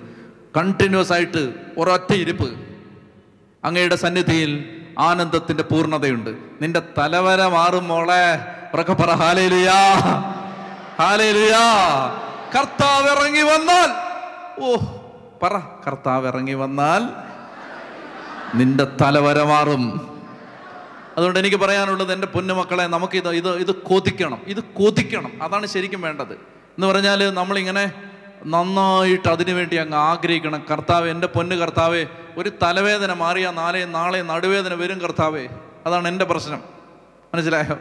തലവേദനയൊക്കെ മാറട്ടെ എനിക്ക് വിരോധമില്ല. പക്ഷെ എന്റെ പ്രോബ്ലം എന്താണെന്ന് വെച്ചാൽ തലവേദന മാറിയാൽ നാളെ നടുവേദന വരും. തലവേദന മാറിയില്ലേലും കർത്താവേ നീ വന്നാ മതി. നീ വന്നാ മതി നീ വന്ന് കിട്ടിയാലുണ്ടല്ലോ. വന്ന് കിട്ടിയാൽ പിന്നെ ലോട്ടറിയാണ്. പിന്നെ ഈ കൊടിഞ്ഞിക്കും മൈഗ്രൈനും ഒന്നും നമ്മളെ തളർത്താൻ പറ്റില്ല. വന്ന് കിട്ടിയാൽ എന്റെ പൊന്നെ എന്റെ അമ്മച്ചി വന്ന് കിട്ടിയാലുണ്ടല്ലോ. പിന്നെ ലോട്ടറി അമ്മച്ചി. ചെത്തി പറഞ്ഞേ ഹാലേലുയാ. എന്റെ പ്രിയപ്പെട്ട മക്കളെ ഈ രാത്രിയിൽ കർത്താവ് പറയാൻ ആഗ്രഹിക്കുന്ന ആമുഖമായിട്ട് പറയാൻ ആഗ്രഹിച്ച ഒരു കാര്യം അതാണ്. അതായത് ദൈവ സാന്നിധ്യത്തിന് വേണ്ടി കൊതിക്കണം. എഴുന്നേറ്റ് നിന്നേ. അങ്ങനെ ആഗ്രഹിച്ച് ഒന്ന് പ്രാർത്ഥിക്കണം. അങ്ങനെ ആഗ്രഹിച്ച് അതായത് ദൈവ സാന്നിധ്യത്തിന് വേണ്ടി ആഗ്രഹിച്ച് പ്രാർത്ഥിക്കണം. കർത്താവിന്റെ സാന്നിധ്യത്തിന് വേണ്ടി ആഗ്രഹിച്ച് പ്രാർത്ഥിക്കണം. ആഗ്രഹിച്ച്. വലിയൊരു അഭിഷേകം കാഞ്ഞൂർ ദേശത്ത് ഇറങ്ങി വരണം. കർത്താവ് ഇറങ്ങി വരണം. ഇറങ്ങി വരണം. നമുക്ക് വേറൊന്നും വേണ്ട. അങ്ങനെ കർത്താവിനെ ഒന്ന് കിട്ടിയാൽ പിന്നെ നമ്മൾ രക്ഷപ്പെട്ടു. കണ്ണടച്ച് കരങ്ങൾ സ്വർഗത്തിലേക്ക് ഉയർത്ത്. കർത്താവ് സീനായി മലയിൽ നീ ഇറങ്ങി വന്നു. അത് കെട്ടുകഥയല്ല. That is not a myth that is not anybody's figment of imagination ഭ്രമകൽപ്പനയല്ല ഭാവനാവിലാസമല്ല മായാവിലാസങ്ങളല്ല ആരോ പറഞ്ഞ കെട്ടുകഥയല്ല. സത്യമാണത്. സീനായിൽ നീ ഇറങ്ങി വന്നെങ്കിൽ കാഞ്ഞൂരി കൺവെൻഷൻ മന്ദലിൽ നിനക്കിറങ്ങി വന്നാൽ എന്താ? ഹോറബിൽ ഇറങ്ങി വന്നെങ്കിൽ നിനക്ക് കാഞ്ഞൂര് കൺവെൻഷൻ പന്തലിൽ വന്നാൽ എന്താ കർത്താവേ? കാർമൽ മലയിൽ ഇറങ്ങി വന്നെങ്കിൽ കാഞ്ഞൂരെ കൺവെൻഷൻ പന്തലിൽ നിനക്ക് ഇറങ്ങി വന്നാൽ എന്താ കർത്താവേ? പ്രിയപ്പെട്ട മക്കളെ ഹൃദയം പൊട്ടി കർത്താവിനോട് പറ. കരങ്ങൾ ഉയർത്തി സ്തുതിക്കട്ടെ. ഹാലലുയ ഹാലലുയ ഹാലലുയ. ശക്തിയോടെ സ്തുതിക്കട്ടെ അതിരം തുറന്ന് സ്തുതിക്കട്ടെ. ചൊത്തി സ്തുതിക്കട്ടെ അങ്ങയുടെ സാന്നിധ്യം അങ്ങയുടെ സാന്നിധ്യം അങ്ങയുടെ സാന്നിധ്യത്തിൽ ആനന്ദത്തിന്റെ പൂർണതയുണ്ട്. കർത്താവേ അങ്ങയുടെ സാന്നിധ്യത്തിൽ ആനന്ദത്തിന്റെ പൂർണതയുണ്ട്. ദേശത്ത് അങ്ങ് ഇറങ്ങി വരണം കർത്താവേ. ഈ കൺവെൻഷൻ പന്തലിൽ അങ്ങ് ഇറങ്ങി വരണം കർത്താവേ. സമാഗമ കൂടാരത്തിന്റെ മീതെ അതിവിശുദ്ധ സ്ഥലത്ത് മീതെ മഹത്വത്തിന്റെ മേഘമായി ഇനി ഇറങ്ങി വന്നതുപോലെ ഇറങ്ങി വരണമേ കർത്താവേ. ദേവാലയത്തിൽ ഇറങ്ങി വന്നതുപോലെ ഇറങ്ങി വരണമേ കർത്താവേ. യേശുവിൽ ഇറങ്ങി വന്നതുപോലെ ഇറങ്ങി വരണമേ കർത്താവേ. സഖീവൻ മാളികയിൽ അപ്പുസ്തോലമാരണമേ ഇറങ്ങി വന്നതുപോലെ. ഇറങ്ങി വരണമേ കർത്താവേ. ചങ്കുവെട്ടി വിളിക്കുന്നു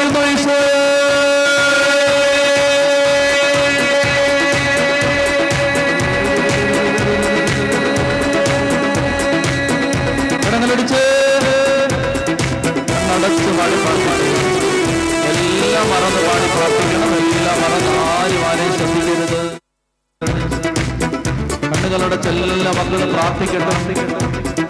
ദൈവ സാന്നിധ്യത്തിൽ കുറഞ്ഞ് ഞങ്ങൾക്ക് ഒന്നും വേണ്ട കർത്താവേ.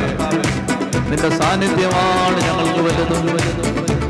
നീ അല്ലാതെ മറ്റൊരു ദൈവമില്ല.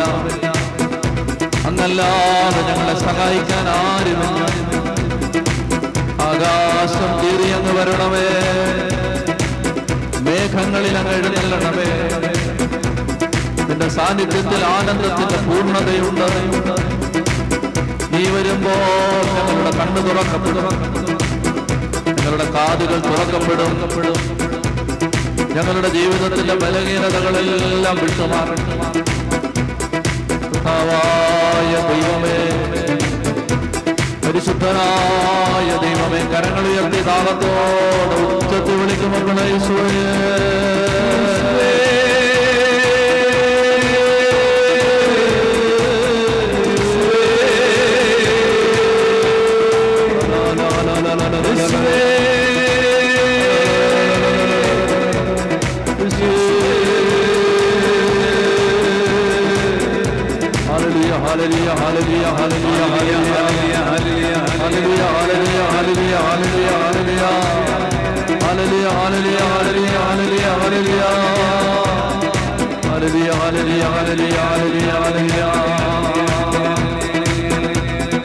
നമ്മൾ പറഞ്ഞുകൊണ്ടിരിക്കുന്നത് നമുക്ക് കർത്താവിന്റെ സാന്നിധ്യം ഈ കാഞ്ഞൂർ കൺവെൻഷന് രണ്ടായിരത്തി പതിനെട്ടിലെ കൺവെൻഷന് കർത്താവെ ഞങ്ങൾക്ക് അങ്ങയുടെ സാന്നിധ്യം വേണം അങ്ങയുടെ സാന്നിധ്യത്തിൽ അങ്ങയുടെ സന്നിധിയിൽ ആനന്ദത്തിന്റെ പൂർണതയുണ്ട്. അങ്ങിറങ്ങി വരുമ്പോൾ യശയ മുപ്പത്തിയഞ്ചിൽ നമ്മൾ കണ്ടു അന്ധരുടെ കണ്ണ് തുറക്കപ്പെടും ബധിരന്റെ ചെവി അടഞ്ഞിരിക്കില്ല മൂകന്റെ നാവ് സന്തോഷത്തിന്റെ ഗാനമുതിർക്കും മുടന്തൻ മാനിനെ പോലെ കുതിച്ചുപായും വരണ്ട ഭൂമിയിൽ അരുവികൾ പൊട്ടിപ്പുറപ്പെടും മരുഭൂമി ജലാശയമായി മാറും. ജീവിതങ്ങളിൽ മാറ്റം വരും. എന്താ ചെയ്യണ്ടേ? അതിനിപ്പോൾ എന്നാ അപ്പാ ചെയ്യണ്ടേ? അതിന് പ്രിയപ്പെട്ട മക്കളെ അതിന് വലിയ വലിയ ദുർഗ്രഹമായ വഴികളല്ല. അതിന് ചെയ്യേണ്ടത് എളുപ്പമുള്ള വഴികളാണ്. അതിന് ചെയ്യേണ്ട രീതികൾ വളരെ എളുപ്പമുള്ളതാണ്. ഒന്നാമത്തെ കാര്യം ഇതാണ് ജെറീക്കോ പട്ടണത്തിലൂടെ യേശു കടന്നു പോവുകയാണ്. യേശു കടന്നു പോകുമ്പോൾ ജെറീക്കോ പട്ടണത്തിലൂടെ കടന്നു പോകുമ്പോൾ ബർത്തമിയൂസ് എന്ന പേരായ ഒരു അന്ധൻ ബർ തിമേയൂസ് ബർ എന്ന് പറഞ്ഞാൽ son of son of Timaeus തിമേയൂസിന്റെ പുത്രൻ എന്നാണ് ആ പേരിന്റെ അർത്ഥം ബർ തിമേയൂസ്. ഈ ബർത്തമയൂസ് എന്ന അന്ധൻ അവൻ യാചകൻ വഴിയരികിലിരുന്ന് ഭിക്ഷ യാചിച്ചുകൊണ്ടിരിക്കുകയാണ് ആരോ അവനോട് പറഞ്ഞു ആരോ പറഞ്ഞു കേട്ടറിവാണ് കേട്ടറിവാണ്. നേരിട്ട് കണ്ടിട്ടില്ല കേട്ടിട്ടില്ല അവൻ തൊട്ടിട്ടില്ല. കേട്ടറിവാണ്. ആരോ പറഞ്ഞു ഇതാ യേശു കടന്നു പോകുന്നു പ്രിയപ്പെട്ട മക്കളെ കൺവെൻഷൻ ദിവസങ്ങളിൽ യേശു കടന്നു പോകുന്നു കർത്താവ് നടക്കുന്ന ദിവസങ്ങളാണിത്. നമുക്കിടയിലൂടെ ദൈവം സഞ്ചരിക്കുന്ന ദിവസങ്ങളാണ്. അപ്പോൾ ആരോ ബർത്തമയൂസിനോട് പറഞ്ഞു ഇതാ കർത്താവ് നടന്നു പോകുന്നു. അവനത് കേട്ട കേൾക്കാത്ത പാതി അവൻ ഉച്ചത്തിൽ വിളിച്ചു പറഞ്ഞു അതാണ് വഴി. അതാണ് വഴി വേറെ വഴിയൊന്നുമില്ല. ഉച്ചത്തിൽ വിളിച്ചു പറഞ്ഞു യേശുവേ നസ്രായനായ യേശുവേ ദാവേദിന്റെ പുത്ര എന്നിൽ കനിയണമേ. വേറെ ഒരു വഴിയില്ല മക്കളെ വിളിക്കണം. കർത്താവേ ദാവേദിന്റെ പുത്ര നസ്രായനായ യേശുവേ ദാവേദിന്റെ പുത്ര എന്നിൽ കനിയണമേ. അപ്പൊ ഇത് കേട്ടപ്പോ അടുത്ത് നിന്ന ആളുകൾ പറഞ്ഞു മിണ്ടാതിരിയടാ. വെള്ളമൊക്കെ പറഞ്ഞു. ഈ കരിസ്മാറ്റിക്കാർക്ക് എന്നാ ഓളിയവാ മിണ്ടായിരിക്കാൻ പറഞ്ഞു. മിണ്ടാതിരുന്നോണം ഒരക്ഷരം മിണ്ടിപ്പോരുത്. പോരുത് മാന്യന്മാർ നടന്നു പോവാണ് സ്റ്റാൻഡേർഡുള്ള ആളുകളാണ് മര്യാദക്കിരുന്നോണം.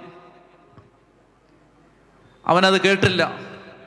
എന്റെ പ്രിയപ്പെട്ട മക്കളെ എനിക്ക് പറയാനുള്ളത് മറ്റുള്ളവരുടെ റെസ്പോൺസ് മറ്റുള്ളവരുടെ അഭിപ്രായം മറ്റുള്ളവരിലൂടെ കിട്ടുന്ന അഭിമാനം അവരുടെ അപ്രീസിയേഷൻ ഇതാണ് നീ ആഗ്രഹിക്കുന്നതെങ്കിൽ ദൈവാനുഭവത്തെപ്പറ്റി ചിന്തിക്കാൻ പോകാതിരിക്കുക. വിട്ടേക്കുക. ആ കേസ് നമുക്കുള്ളതല്ല. മനുഷ്യന്റെ പ്രീതിയാണ് നിന്റെ ലക്ഷ്യമെങ്കിൽ ദൈവാനുഭവത്തെ മറന്നേക്കുക. മനുഷ്യനെ നോക്കരുത്. ആരും എന്തും പറയും. പറയുന്നവർ പറഞ്ഞോട്ടെ മാനിക്കേണ്ടത് ദൈവമാണ്. ദൈവം വരും. പ്രിയമക്കളെ കർത്താവ് വരും. അതായത് എന്തിനാണിങ്ങനെ എന്തിനാണിങ്ങനെ എന്ന് ചോദിക്കുക ആളുകൾ എന്തിനാണിങ്ങനെ? ചുമ്മാ ആരെ ശ്രദ്ധിക്കരുത്. ആരെ നോക്കരുത്? കർത്താവേ എനിക്ക് നിന്നെ വേണം. നിന്റെ സാന്നിധ്യം എനിക്ക് കിട്ടണം. എന്റെ വീട്ടിൽ നീ വരണം. നീ എന്നെ അനുഗ്രഹിച്ചല്ലാതെ നിന്നെ ഞാൻ വിടുകയില്ല എന്ന് പറഞ്ഞൊരു യാക്കോബുണ്ട്. പുറപ്പാട് മുപ്പത്തിമൂന്നിൽ മോശ പറയുന്നുണ്ട് നീ ഞങ്ങളുടെ കൂടെ യാത്ര ചെയ്യുന്നില്ലെങ്കിൽ ഞങ്ങളെ പറഞ്ഞയക്കാൻ പാടില്ല. ഞങ്ങൾ പോവില്ല. നീ ഞങ്ങളുടെ കൂടെ യാത്ര ചെയ്യുന്നില്ലെങ്കിൽ ഞങ്ങൾ പോവില്ല. പ്രിയമക്കളെ നന്നായിട്ട് ശ്രദ്ധിച്ചിരിക്കുക. ദൈവാനുഭവത്തിന് വേണ്ടി യാചിക്കണം. നമുക്ക് ദൈവ സാന്നിധ്യം വേണം. ഈ കൺവെൻഷന് ദൈവ സാന്നിധ്യം വേണം. ഞാൻ പറഞ്ഞുതരാം ഇനിയുള്ള ദിവസങ്ങളിൽ കർത്താവ് നയിച്ചാൽ നമ്മൾ ഇനി ആ മേഖലയിൽ ഇങ്ങനെ വളരാൻ ശ്രമിക്കും. അതായത് ദൈവ സാന്നിധ്യം എന്ന ആ ആശയത്തിൽ. ദൈവ സാന്നിധ്യത്തിൽ നമുക്ക് വളരാൻ ആദ്യത്തെ സ്റ്റെപ്പ് ഇതാണ് ചങ്ക് പൊട്ടി കർത്താവിനെ വിളിച്ചോളുക. കർത്താവിനോട് പറയണം ദൈവമേ എനിക്ക് നിന്നെ വേണം. ഈ നാല് ദിവസങ്ങളിൽ രാവും പകലും നിങ്ങളത് ആഗ്രഹിക്കണം. എനിക്ക് പറയാനുള്ളത് ഈ ദിവസങ്ങളിൽ നിങ്ങൾ ടെലിവിഷൻ ഓൺ ചെയ്യരുത്. വാട്സപ്പ് സമ്പർക്കങ്ങൾ നിങ്ങൾക്ക് ലഹരിയാണെങ്കിൽ അതിനോട് നോ പറയണം. നിങ്ങൾ പത്രം വായിക്കുന്നത് നിങ്ങൾക്ക് ഒഴിവാക്കാൻ പറ്റാത്ത ശീലമാണെങ്കിൽ അതിനോട് നോ പറയണം. മജഗോരിയിൽ പ്രത്യക്ഷപ്പെട്ട മാതാവ് നൽകിയ സന്ദേശങ്ങളിൽ ഒന്ന് മീഡിയ ഫാസ്റ്റിംഗ് എടുക്കാൻ ആളുകളോട് പറയാനാണ്. മീഡിയ ഫാസ്റ്റിംഗ് എന്ന് പറഞ്ഞാൽ ടെലിവിഷൻ ഒരു മാസത്തേക്ക് ഓഫ് ചെയ്തിട്. പത്രം രണ്ട് ദിവസം വായിച്ചില്ലെങ്കിൽ എന്താ? ഒരു ദിവസം ന്യൂസ് കണ്ടില്ലെങ്കിൽ എന്താ? ഒരു ദിവസം ഈ സമ്പർക്കങ്ങളൊക്കെ മാറ്റിവെച്ചാൽ എന്താ? ഒരു ദിവസം ഫോൺ ഓഫ് ചെയ്താൽ എന്താ? ഒരു ദിവസം രാവിലെ മുതൽ വൈകിട്ട് വരെ ഫോൺ എടുക്കാതിരുന്നാൽ എന്താ?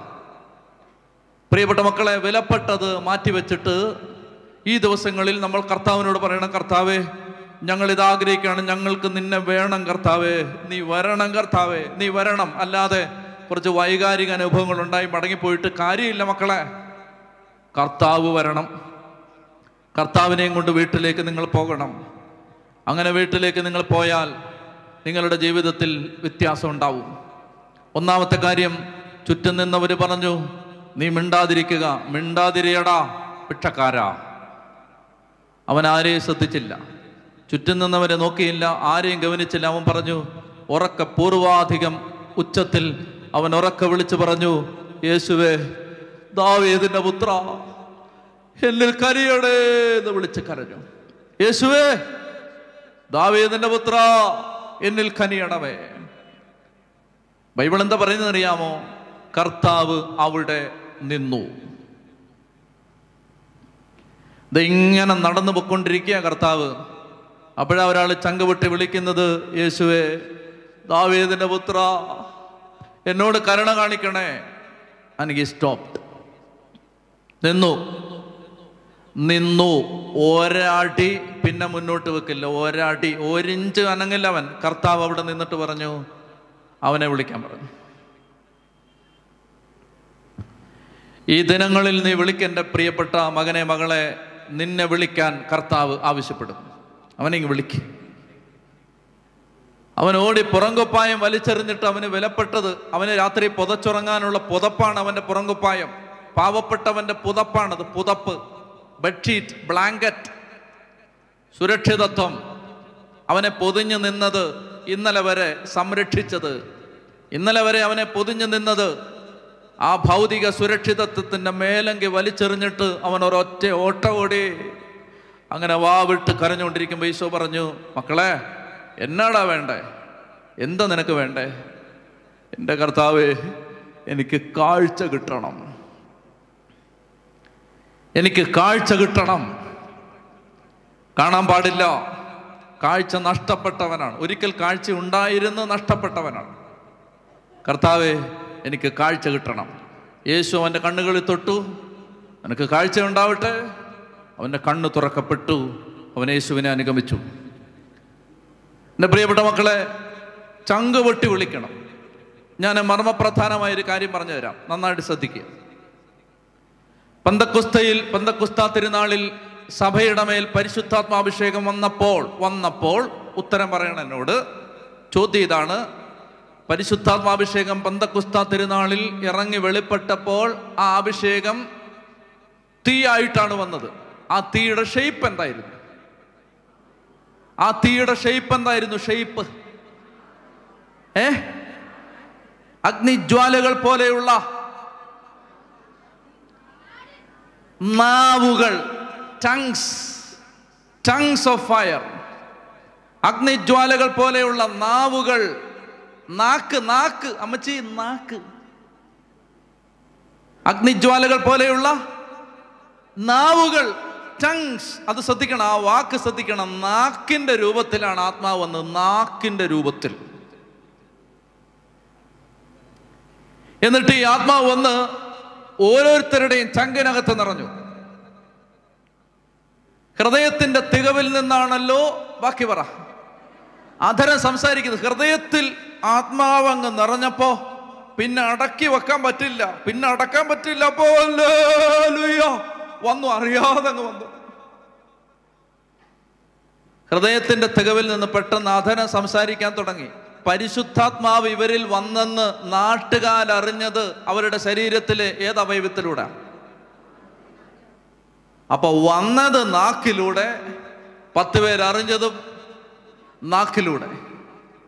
പുതിയ നിയമത്തിലെ എല്ലാ ശുശ്രൂഷകളും നാവിന്റെ ശുശ്രൂഷകളാണ്. യേശു കർത്താവാണെന്ന് ഹൃദയത്തിൽ വിശ്വസിക്കുകയും അവനെ ദൈവം മരിച്ചവരിൽ നിന്ന് ഉയർപ്പിച്ചു എന്ന് ആ അധരം കൊണ്ട് ഏറ്റുപറയുകയും ചെയ്താൽ നീ രക്ഷ പ്രാപിക്കും. രക്ഷയ്ക്ക് നാക്ക് വേണം. മറ്റൊന്ന് വിശുദ്ധ കുർബാന ബലിപീഠത്തിൽ വെച്ചിട്ട് പുരോഹിതൻ സ്ഥാപന വചനങ്ങൾ ഉച്ചരിക്കുമ്പോൾ കർത്താവെ അങ്ങയുടെ പരിശുദ്ധാത്മാവ് എഴുന്നള്ളി വരട്ടെ. പരിശുദ്ധാത്മാവിനെ ക്ഷണിച്ച് പ്രാർത്ഥിക്കുമ്പോൾ സ്ഥാപന വചനങ്ങളുടെ പ്രാർത്ഥന പരിശുദ്ധാത്മാഭിഷേകം ഈ പ്രാർത്ഥനകൾ ചൊല്ലുമ്പോഴാണ് യേശുവിന്റെ ശരീരരക്തങ്ങളായി തിരുവോസ്തി അപ്പവും മീഞ്ഞും മാറുന്നത്. നാവ് കുംഭസാരക്കൂട്ടിൽ മുട്ടുകുത്തുന്ന നിങ്ങൾ സൈലന്റായിട്ട് കണ്ണുമടച്ച് സൈലന്റായിട്ട് ഹൃദയത്തിൽ പാവേറ്റ് പറയുകയും അച്ഛൻ ഹൃദയത്തിൽ ആശീർവാദം തരികയും ചെയ്താൽ അത് കുമ്പസാര കൂതാശയല്ല പാപം കൺഫസ് ചെയ്യണം അത് നാവ് കൊണ്ട് ഏറ്റുപറയണം ആ നാവ് കൊണ്ട് അബ്സല്യൂഷൻ പറയണം അച്ഛൻ. പാപമോചനത്തിന്റെ പ്രാർത്ഥന പറയണം. പ്രിയപ്പെട്ട മക്കളെ സുവിശേഷം പ്രഘോഷിക്കപ്പെടണമെങ്കിൽ നാവ് വേണം. രക്ഷ ഏറ്റു പറയണമെങ്കിൽ നാവ് വേണം. യേശുവിന്റെ ശരീരരക്തങ്ങളായി അപ്പവും വീഞ്ഞും മാറണമെങ്കിൽ നാവ് വേണം. പാപമോചനം ആത്മാവിൽ കൃപയായി വെളിപ്പെടണമെങ്കിൽ നാവ് വേണം. പുതിയ നിയമത്തിന്റെ ശുശ്രൂഷകളെല്ലാം നാവിന്റെ ശുശ്രൂഷകളാണ്. ശ്രദ്ധിച്ചിരിക്കുക പരിശുദ്ധാത്മാഭിഷേകം വെളിപ്പെടണമെങ്കിൽ നാവ് ഉപയോഗിക്കണം. നാവ് വിളിക്കണം വിളിക്കണം ഉച്ചത്തി വിളിക്കണം. ഉച്ചത്തി പറഞ്ഞേ ഹാലേലുയാ ഹാലേലുയാ. പ്രിയപ്പെട്ട മക്കളെ അതുകൊണ്ട് നാവിനെ ഉപയോഗിക്കണം. ഈ ദിവസങ്ങളിൽ നാവിനെ ഉപയോഗിക്കണം. മറ്റൊരു കാര്യം കൂടി അതിനോട് അനുബന്ധമായിട്ട് പറയേണ്ടി വരും. അതായത് കൃപ വെളിപ്പെടുന്നത് നാവിലൂടാണ് കൃപ പോവുന്നതും നാവിലൂടാണ്. നല്ല കൃപ ഇങ്ങനെ നിറഞ്ഞ് നിറഞ്ഞ് നിറഞ്ഞ് നിന്ന ഇന്നിപ്പോൾ കൺവെൻഷന് നല്ല കൃപ നിറഞ്ഞിട്ട് പോയി. മിറ്റത്തിറങ്ങി രണ്ട് സെന്റൻസ് പറഞ്ഞാൽ ഇത് മുഴുവൻ കളയാം. എന്നാ സെന്റൻസ് ആണെന്ന് ഞാൻ പറയണ്ടല്ലോ? വണ്ടി എടുത്ത സമയത്ത് അപ്പുറത്തൂടെ എടുത്തവൻ ഇച്ചിരി വേഗത്തിലെടുത്തു നമുക്ക് അങ്ങോട്ട് പോകാൻ പറ്റിയില്ല. അന്നേരം വായിലൊരു സാധനം ഇങ്ങനെ വന്നു. തീർന്നു. കുടത്തിന്റെ അടിയിൽ ദ്വാരം വീണു. കൃപയുടെ ജലം ഒഴുകിപ്പോയി. ഈ ദിവസങ്ങളിൽ എനിക്ക് പറയാനുള്ളത് നിങ്ങൾ അനുസരിക്കുമെങ്കിൽ നിങ്ങളുടെ നാവിനെ ശ്രദ്ധിക്കണം. ദൈവസാന്നിധ്യം വേണോ? വേണോ? പറ. കാഞ്ഞൂരുകാര് വേണോ? ഏ? നാവിനെ ശ്രദ്ധിക്കുക. രണ്ട് കാര്യങ്ങൾ ചെയ്യണം. ഒന്നാമത്തെ കാര്യം ചെയ്യേണ്ടത് നാവ് കൊണ്ട് കർത്താവിനെ വിളിക്കണം. നാവ് കൊണ്ട് ദൈവത്തെ വിളിക്കണം. ഒരു കാര്യമുണ്ട് ഞാനത് പറയാം തൊട്ടടുത്ത് അതുകൂടെ ചെയ്യണം. നാവ് കൊണ്ട് ദൈവത്തെ വിളിക്കണം. സംസാരത്തെ ഈ ദിവസങ്ങളിൽ ശ്രദ്ധിക്കണം. മുപ്പത്തിനാലാം സങ്കീർത്തനത്തിൽ ശക്തമായൊരു വചനമുണ്ട്. മുപ്പത്തിനാലാം സങ്കീർത്തനത്തിൽ കർത്താവ് പറയുന്നുണ്ട് മുപ്പത്തിനാലാം സങ്കീർത്തനം പതിമൂന്നാം വാക്യ പന്ത്രണ്ടും പതിമൂന്നും വാക്യങ്ങൾ. മുപ്പത്തിനാലാം സങ്കീർത്തനം പന്ത്രണ്ടും പതിമൂന്നും വാക്യങ്ങൾ ജീവിതം ആഗ്രഹിക്കുകയും സന്തുഷ്ടമായ ദീർഘായുസ് അഭിലഷിക്കുകയും ചെയ്യുന്നുവോ? തിന്മയിൽ നിന്ന് നാവിനെയും വ്യാജ ഭാഷണത്തിൽ നിന്ന് അധരങ്ങളെയും സൂക്ഷിച്ചോണം. ജീവിതം ആഗ്രഹിക്കുകയും സന്തുഷ്ടമായ ദീർഘായുസ് ആഗ്രഹിക്കുകയും ചെയ്യുന്നെങ്കിൽ ദൈവിക ജീവൻ നിറയാൻ ആഗ്രഹിക്കുന്നെങ്കിൽ ദൈവശക്തി നിറയാൻ ആഗ്രഹിക്കുന്നെങ്കിൽ നിന്റെ ദിവസങ്ങൾ അഭിഷേകത്തിന്റെ ദിവസങ്ങളായി മാറ്റപ്പെടാൻ നീ ആഗ്രഹിക്കുന്നെങ്കിൽ തിന്മയിൽ നിന്ന് നാവിനെയും വ്യാജം പറയുന്നതിൽ നിന്ന് അധരത്തെയും സൂക്ഷിക്കണം നാവിനെ ശ്രദ്ധിക്കണം. ജെറമിയ പതിനഞ്ച് പത്തൊമ്പത്. നീ വിലകെട്ടവ പറയാതെ സദ്വചനങ്ങൾ മാത്രം ഉച്ചരിച്ചാൽ നീ എന്റെ നാവ് പോലെയാകും. നീ വിലകെട്ടവ പറയാതെ ജെറമിയ പതിനഞ്ച് പത്തൊമ്പത്. നീ വിലകെട്ടവ പറയാതെ സദ്വചനങ്ങൾ മാത്രം ഉച്ചരിച്ചാൽ നീ എന്റെ നാവ് പോലെയാകും.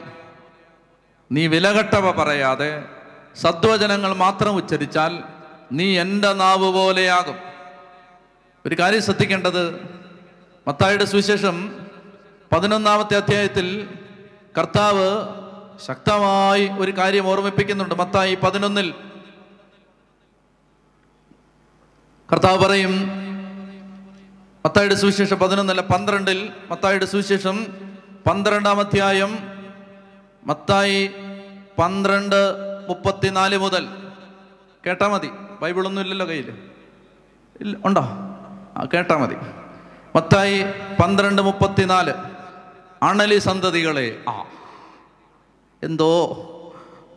അണലി സന്തതികളെ ആ നിങ്ങളല്ല അണലി സന്തതികളെ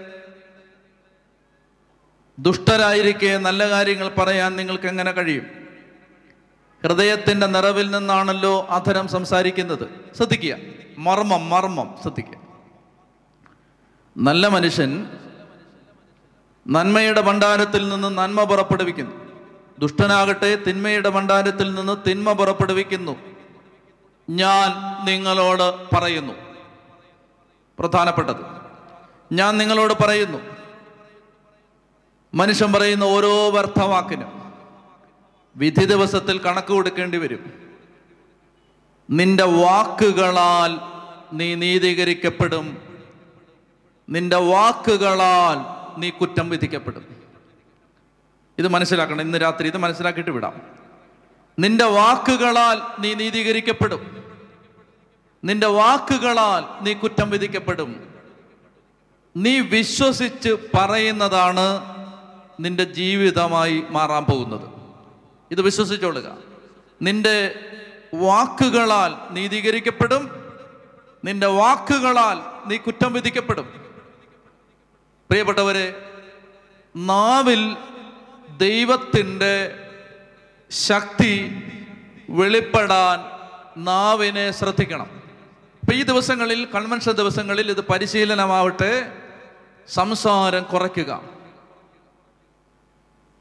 സമ്പർക്കങ്ങൾ കുറയ്ക്കുക എന്നിട്ട് നാവ് കൊണ്ട് ദൈവവചനം വായിക്കുക ദൈവത്തെ സ്തുതിക്കുക പ്രാർത്ഥിക്കുക അത്യാവശ്യ കാര്യങ്ങൾ മാത്രം സംസാരിക്കുക. പരിശുദ്ധാത്മാവിന്റെ സാന്നിധ്യം വേണമെങ്കിൽ എന്നെ അനുസരിച്ചാൽ മതി. എന്റെ ജീവിതത്തിൽ വളരെ രസകരമായ ഒരു അനുഭവം ഉണ്ടായി. അതായത് ഞാനിങ്ങനെ എന്റെ പൗരോഹിത്യത്തിന്റെ ആദ്യ വർഷങ്ങളാണ്. ഞാനൊരു പള്ളിയിൽ താമസിക്കുമ്പോൾ എന്റെ കൂടെ വേറൊരച്ഛനും ഉണ്ട് ഞങ്ങൾ വലിയ ജോലിയൊന്നും ഇല്ലാത്തൊരു പള്ളിയിലാണ് താമസിക്കുന്നത്. വലിയ പണിയൊന്നുമില്ല. ഞായറാഴ്ച ദിവസം കുർബാന ചൊല്ലിയാൽ മതി. വേറെ പണിയൊന്നുമില്ല. എല്ലാം കൂലിപ്പണിക്കായ ആളുകൾ പല സ്ഥലത്ത് ജോലിക്കൊക്കെ പോകുന്നവർ അവരെ എല്ലാം ഈ ഞായറാഴ്ച കിട്ടും. വീടുകളിലൊന്നും പോയി ആരെ കാണാനൊന്നുമില്ല. അപ്പം ഞാനാണെങ്കിൽ എന്റെ സമയം എൻഗേജ് ചെയ്യുന്നത് ഞാനിങ്ങനെ വൈകുന്നേരം വചനം പറയാൻ പോകും. മറ്റേ അച്ഛൻ പള്ളിയിൽ തന്നെ ഇരിക്കും എന്റെ കൂടെ വരില്ല. ഞാൻ വിളിക്കും ഞാൻ വിളിക്കുമ്പോൾ എന്നോട് പറയും അത് ഞാൻ എനിക്ക് അതിനോടൊരു താല്പര്യമില്ല അച്ഛൻ അച്ഛന്റെ ഈ കരിസ്മാറ്റിക് ഒന്നും എനിക്ക് വലിയ താല്പര്യമില്ല ഞാൻ അതിന് വരുന്നില്ലെന്ന് പറയും. അപ്പം ഞാൻ നിർബന്ധിക്കാനൊന്നും പോയില്ല. അച്ഛന് അച്ഛന്റെ വഴി എനിക്ക് എന്റെ വഴി. അങ്ങനെ ഇരിക്കുമ്പോൾ അച്ഛൻ എന്റെ അടുത്ത് വന്നിട്ട് പറഞ്ഞു അച്ചോ എനിക്ക് ഭയങ്കര ബോറാന്ന് പറഞ്ഞു. ഞാൻ പറഞ്ഞു നിനക്ക് അങ്ങനെ തന്നെ വേണം. നിനക്ക് ബോ ബോറാവണം. ഞാൻ വിളിച്ചിട്ട് വന്നില്ലല്ലോ. അപ്പോൾ എന്നോട് പറഞ്ഞു അച്ഛാ ഞാൻ അതിനൊന്നും വരുന്നില്ല. ഞാൻ എന്റെ സമയം ഫലപ്രദമായി വിനിയോഗിക്കാൻ പോവാണ്. എങ്ങനെ? ഞാൻ പാത്തക്കോഴിയെ വളർത്താൻ പോവാണ്. അത് മനസ്സിലായി എന്താന്ന്? ഈ വലിയ സൈസുള്ളൊരു കോഴിയുണ്ടല്ലോ വെള്ള. ഈ അരയന്നം പോലെ ഇരിക്കുന്നു. ആ അത് തന്നെ. അതിനിവിടെ എന്താ പറയുന്നത് പിയാത്ത പിയാത്ത ഒന്നുമില്ല. പിയാത്ത വേറെയാ. പാത്ത. ആ എന്തെങ്കിലും പറ. സംഭവം മനസ്സിലായോ? ആ. അപ്പൊ ഈ അച്ഛൻ ഈ ആശയം എവിടുന്ന് കിട്ടിയെന്ന് അറിയാമോ അച്ഛൻ ആശയം കിട്ടിയത് അച്ഛൻ കോൺവെന്റിൽ ചെന്നപ്പോൾ സിസ്റ്റർ ഉണ്ട് ഞങ്ങൾ അമ്മച്ചി എന്ന് വിളിക്കുന്ന ഒരു സിസ്റ്റർ ഉണ്ട് അമ്മച്ചി സിസ്റ്റർ ഇതിന്റെ ആളാണ്. ഈ കോഴിയുടെ ആളാണ്. ഇഷ്ടം പോലെ കോഴിയുണ്ട് അമ്മച്ചിക്ക്. നല്ല സൈസുള്ള കോഴികൾ. അപ്പൊ ഈ അമ്മച്ചി എല്ലാ ദിവസവും ഓരോ മുട്ട എടുത്തിട്ട് അച്ഛനെ കാണിക്കും. കണ്ടോ കൊച്ചച്ച? മുട്ട. എന്നാ വലുപ്പമെന്നറിയാം എന്റെ മുട്ടയ്ക്ക്? കണ്ടിട്ടുണ്ടോ? അമ്മച്ചി കണ്ടിട്ടുണ്ടോ? ഇല്ലേ? തുറമുട്ട ഒരു ഒരു ഒരു അഞ്ച് അഞ്ച് താറാമുട്ട വെച്ചാൽ എത്രയുണ്ടോ അത്രയുണ്ടോ സത്യം അമ്മച്ചി. അമ്മച്ചി വിശ്വസിക്കുന്നില്ല ഞാൻ പറഞ്ഞിട്ട്. അപ്പൊ അങ്ങനെ ഈ ഭയങ്കര മുട്ട. ഇതിങ്ങനെ കാണിക്കാം. അപ്പോൾ ഇത് കണ്ട് കൊതി പിടിച്ചിട്ടാണ് ഇതിനെ വളർത്താൻ ഈ കൃഷി തുടങ്ങാൻ അദ്ദേഹം തീരുമാനിച്ചിരിക്കുന്നത്. അപ്പം ഞാൻ പറഞ്ഞു നമുക്ക് തന്നെ ഇവിടെ ഭക്ഷണം ഇല്ല. ഇതിനിടെ കോഴികൾ കൂടി ഭക്ഷണം കുടിക്കാൻ നമുക്ക് നിവൃത്തിയില്ല. മാത്രമല്ല ഈ മിണ്ടാപ്രാണികളുടെ ശാപം ഭയങ്കരമാണ്. അതിനെ കൊണ്ടുവന്ന് പട്ടിണിക്കിടരുത്. അപ്പോൾ അദ്ദേഹം പറഞ്ഞു അതെല്ലാം ഞാൻ നോക്കിക്കോളാം. അച്ഛൻ ഇതിനകത്തുനിന്ന് കൈ കടത്തരുത്. ഞാൻ പറഞ്ഞു എന്തെങ്കിലും കാണിക്കേ. അങ്ങനെ അങ്ങോട്ട് ബൈക്കിന് പോയ അച്ഛൻ ഇങ്ങോട്ട് ഓട്ടോറിക്ഷയ്ക്ക് വരുന്നു ഒരു നാലഞ്ച് കോഴികളുമായിട്ട്. അച്ഛൻ വന്നു. അപ്പൊ എനിക്കിത് ഒരു ഒരു നേരം പോക്കായിട്ട്. അച്ഛന് അച്ഛന്റെ ഒരു സന്തോഷമല്ലേ? നല്ല കാര്യമല്ലേ? അച്ഛൻ വളർത്തിട്ട്. ഓരോ ആഴ്ച കഴിയും തോറും അച്ഛന്റെ മുഖം ശോകാവൃതമാവുന്നു. അച്ഛൻ വിഷമിക്കുന്നു. കാരണം എന്താണ്? ഒരൊറ്റ മൊട്ട പോലും ഇതുങ്ങൾ ഇടുന്നില്ല. അപ്പൊ അച്ഛൻ എന്നോട് പറയാണ് ഈ മുട്ടയിടാത്ത പന്നക്കോഴികളെല്ലാം കൂടെ എനിക്ക് തന്നാന്ന് തോന്നുന്നു. അമ്മച്ചി ഞാൻ പറഞ്ഞു അമ്മച്ചി അങ്ങനെ ചെയ്യില്ല. അച്ഛന് നല്ല കോഴിയാണ് തന്നത് എന്നാണ് അമ്മച്ചി പറഞ്ഞിരിക്കുന്നത്. അപ്പോൾ അതേ എന്റെ അടുത്ത് പറയുകയാണ് ഇല്ല അച്ഛാ ഇത് മുട്ടയിടുന്നില്ല അച്ഛാ. ഞാൻ ഒരു കാര്യം പറയട്ടെ. അച്ഛന്റെ കരിസ്മാറ്റിക്കിനെ ഞാൻ പറഞ്ഞ എല്ലാ കുറ്റത്തിനും എന്നോട് ക്ഷമിക്കണം. ഈ കോഴി മുട്ടയിടാൻ പ്രാർത്ഥിക്കാമോ ഞാൻ പറഞ്ഞു ഇത് കാര്യം എന്തെന്നറിയാം? എല്ലാ ദിവസവും കോൺവെന്റ് ചെല്ലുമ്പോൾ സിസ്റ്റർ ഓരോ മുട്ടയെടുത്ത് കാണിക്കും. അപ്പൊ ഇവിടെ വന്നിട്ട് ഈ കോഴികളോട് ദേഷ്യപ്പെടണം കോഴികളോട് ദേഷ്യപ്പെട്ട കോഴി മുട്ടയിടുമോ അപ്പോൾ ഞാൻ പറഞ്ഞു എന്റെ പൊന്നു മോനെ എനിക്ക് പക വിട്ടാനും പ്രതികാരം ചെയ്യാനും ഞാൻ ഒരു അവസരം കാത്തിരിക്കാൻ. നിന്റെ കോഴിക്ക് വേണ്ടി ഞാൻ പ്രാർത്ഥിക്കില്ല. കോഴിക്ക് വേണ്ടിയുള്ള പ്രാർത്ഥനയൊന്നും എനിക്കറിയാൻ പാടില്ല. മനുഷ്യന് വേണ്ടിയുള്ള പ്രാർത്ഥന എന്നെ കഷ്ടിച്ചാണ് അറിയാം. അന്നേരം കോഴിക്ക് വേണ്ടി ഇനി എന്നാ പ്രാർത്ഥന? അപ്പോൾ ഇദ്ദേഹത്തിന് അത് ഇഷ്ടപ്പെട്ടില്ല. അങ്ങനെ ഇരിക്കുമ്പോഴാണ് ഒരു പ്രായമുള്ള അച്ഛൻ വയോധികനായ ഒരു അച്ഛൻ അദ്ദേഹം ഞങ്ങളുടെ പള്ളിയിൽ വന്നു. വന്നിട്ട് അദ്ദേഹം ഇങ്ങനെ പോകാൻ ഇറങ്ങിയപ്പോൾ ഈ കോഴികളെ കണ്ടു. അദ്ദേഹത്തിന് ഈ കോഴികളോട് താല്പര്യമുണ്ട്. അങ്ങനെ അദ്ദേഹവും എന്റെ കൊച്ചച്ഛനും കൂടി രണ്ടുപേരും കൂടി ഈ കോഴികളെ ഇങ്ങനെ പരിപാലിക്കുകയും അതിന്റെ വിശേഷങ്ങളൊക്കെ പറയുകയും ഇതിന്റെ ഇനം വർഗം ഗോത്രം എല്ലാം ഇവർക്കറിയാം. അവരതെല്ലാം പറഞ്ഞുകൊണ്ടിരിക്കുന്ന സമയത്ത് നമുക്ക് ബന്ധമില്ലാത്തൊരു ഫീൽഡ് ആണല്ലോ എന്ന് വിചാരിച്ച് ഞാൻ അതിൽ മാറി നിൽക്കുകയാണ്.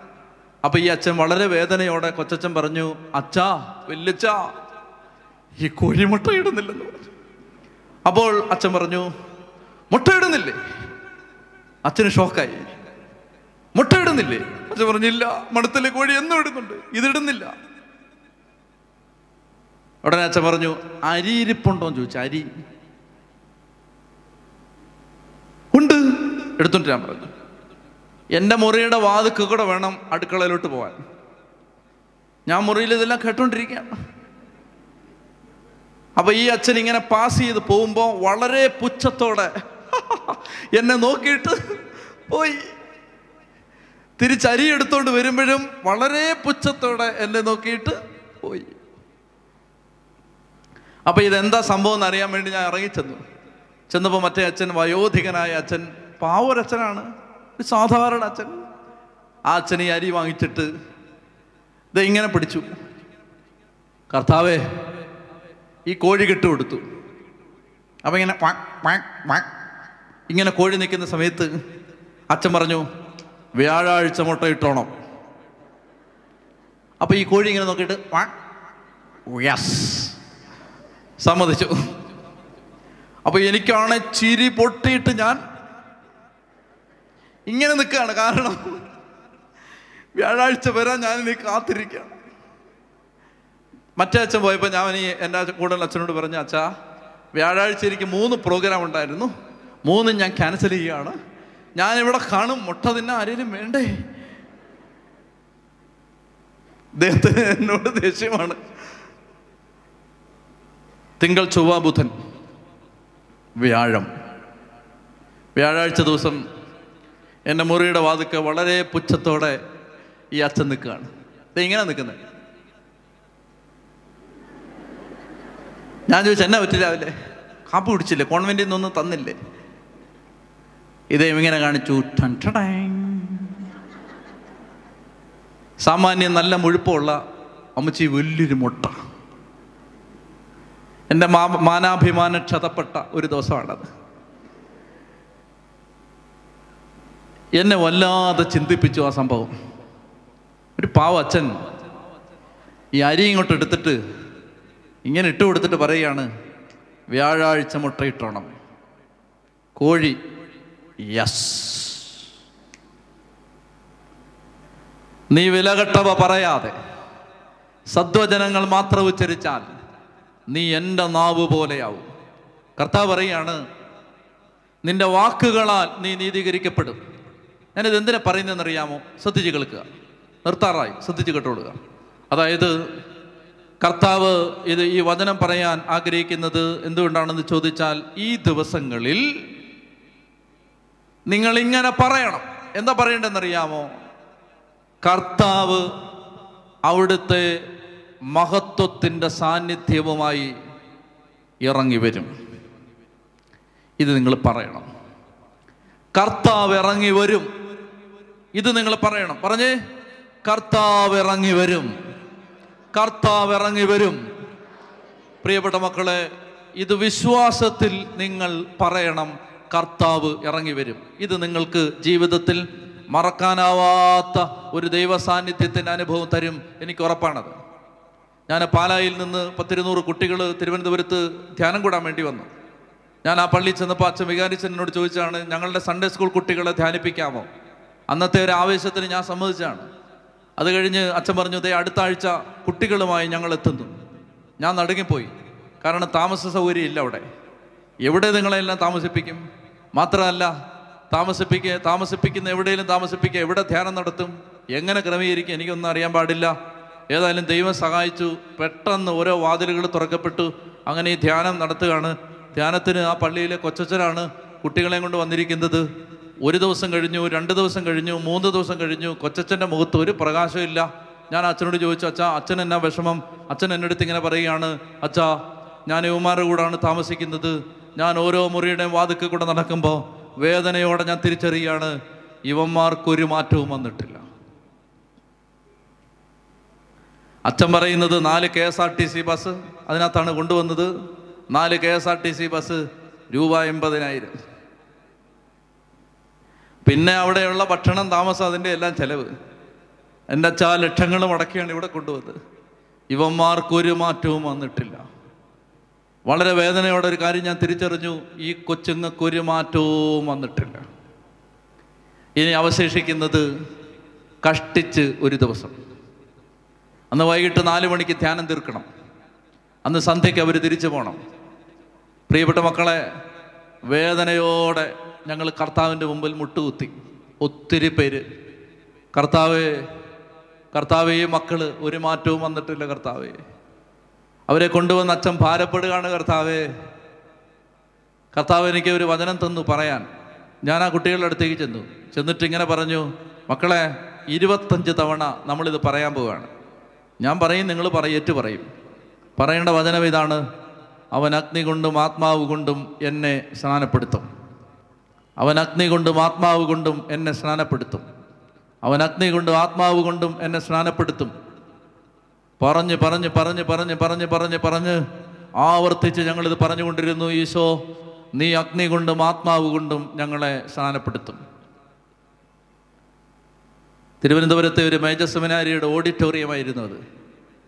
ആ ഓഡിറ്റോറിയത്തിൽ പരിശുദ്ധാത്മാവിന്റെ തീ ഇറങ്ങി വന്നത് ഞങ്ങൾ കണ്ടു. ഓരോ കൗമാരക്കാരന്റെ മേലും കൗമാരക്കാരിയുടെ മേലും പരിശുദ്ധാത്മാവ് ഇറങ്ങി വന്നു. നാല് മണിക്ക് നിർത്തേണ്ട ധ്യാനം രാത്രി പതിനൊന്നിന് നിർത്തിയിട്ടില്ല. കാരണം കുട്ടികൾ ടെസ്റ്റ് മണി പറയാൻ ഇടിയാണ്. സാക്ഷ്യം പറയാൻ അവർക്ക് കർത്താവ് ഇറങ്ങി വന്നപ്പോൾ തലേന്ന് വരെ അല്ലാത്തൊരു ജീവിത സാഹചര്യം അവർക്കുണ്ടായിട്ട് അവർ രാത്രി പതിനൊന്നിലൊടുവിൽ ഇനി ആരും പറയണ്ടെന്ന് പറഞ്ഞത് ആ കടപൂട്ടി വിടുകയായിരുന്നു എന്റെ പ്രിയപ്പെട്ട മക്കളെ നിന്റെ വാക്കുകളാൽ നീ നീതീകരിക്കപ്പെടും. നമ്മൾ നമ്മുടെ വാക്കല്ലല്ലോ ഈ പറയുന്നത്. കർത്താവ് പറഞ്ഞതാണിത്. അവൻ അഗ്നി കൊണ്ട് ആത്മാവ് കൊണ്ട് നിങ്ങളെ സ്നാനപ്പെടുത്തും. കർത്താവാണ് പറഞ്ഞത് നാം വിളിച്ചപേക്ഷിക്കുമ്പോഴൊക്കെ.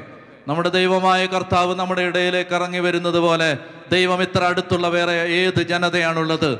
നൂറ്റി നാൽപ്പത്തഞ്ചാം സങ്കീർത്തനം പതിനെട്ടാം തിരുവചനം കർത്താവിനെ വിളിച്ചപേക്ഷിക്കുന്നവർക്ക് ഹൃദയപരമാർത്ഥതയോടെ വിളിച്ചപേക്ഷിക്കുന്നവർക്ക് അവിടുന്ന് സമീപസ്ഥനാണ്. അനിലച്ചന്റെ വാക്കല്ലല്ലോ അത്. നിങ്ങളുടെ വാക്കല്ലല്ലോ അത്. കർത്താവിന്റെ വാക്കാണ്. ഇത് നിങ്ങൾ ആവർത്തിക്കണം. ഈ കാഞ്ഞൂർ കൺവെൻഷൻ പന്തലിൽ കർത്താവ് ഇറങ്ങി വരും. ചെത്തി പറഞ്ഞേ ഹാലേ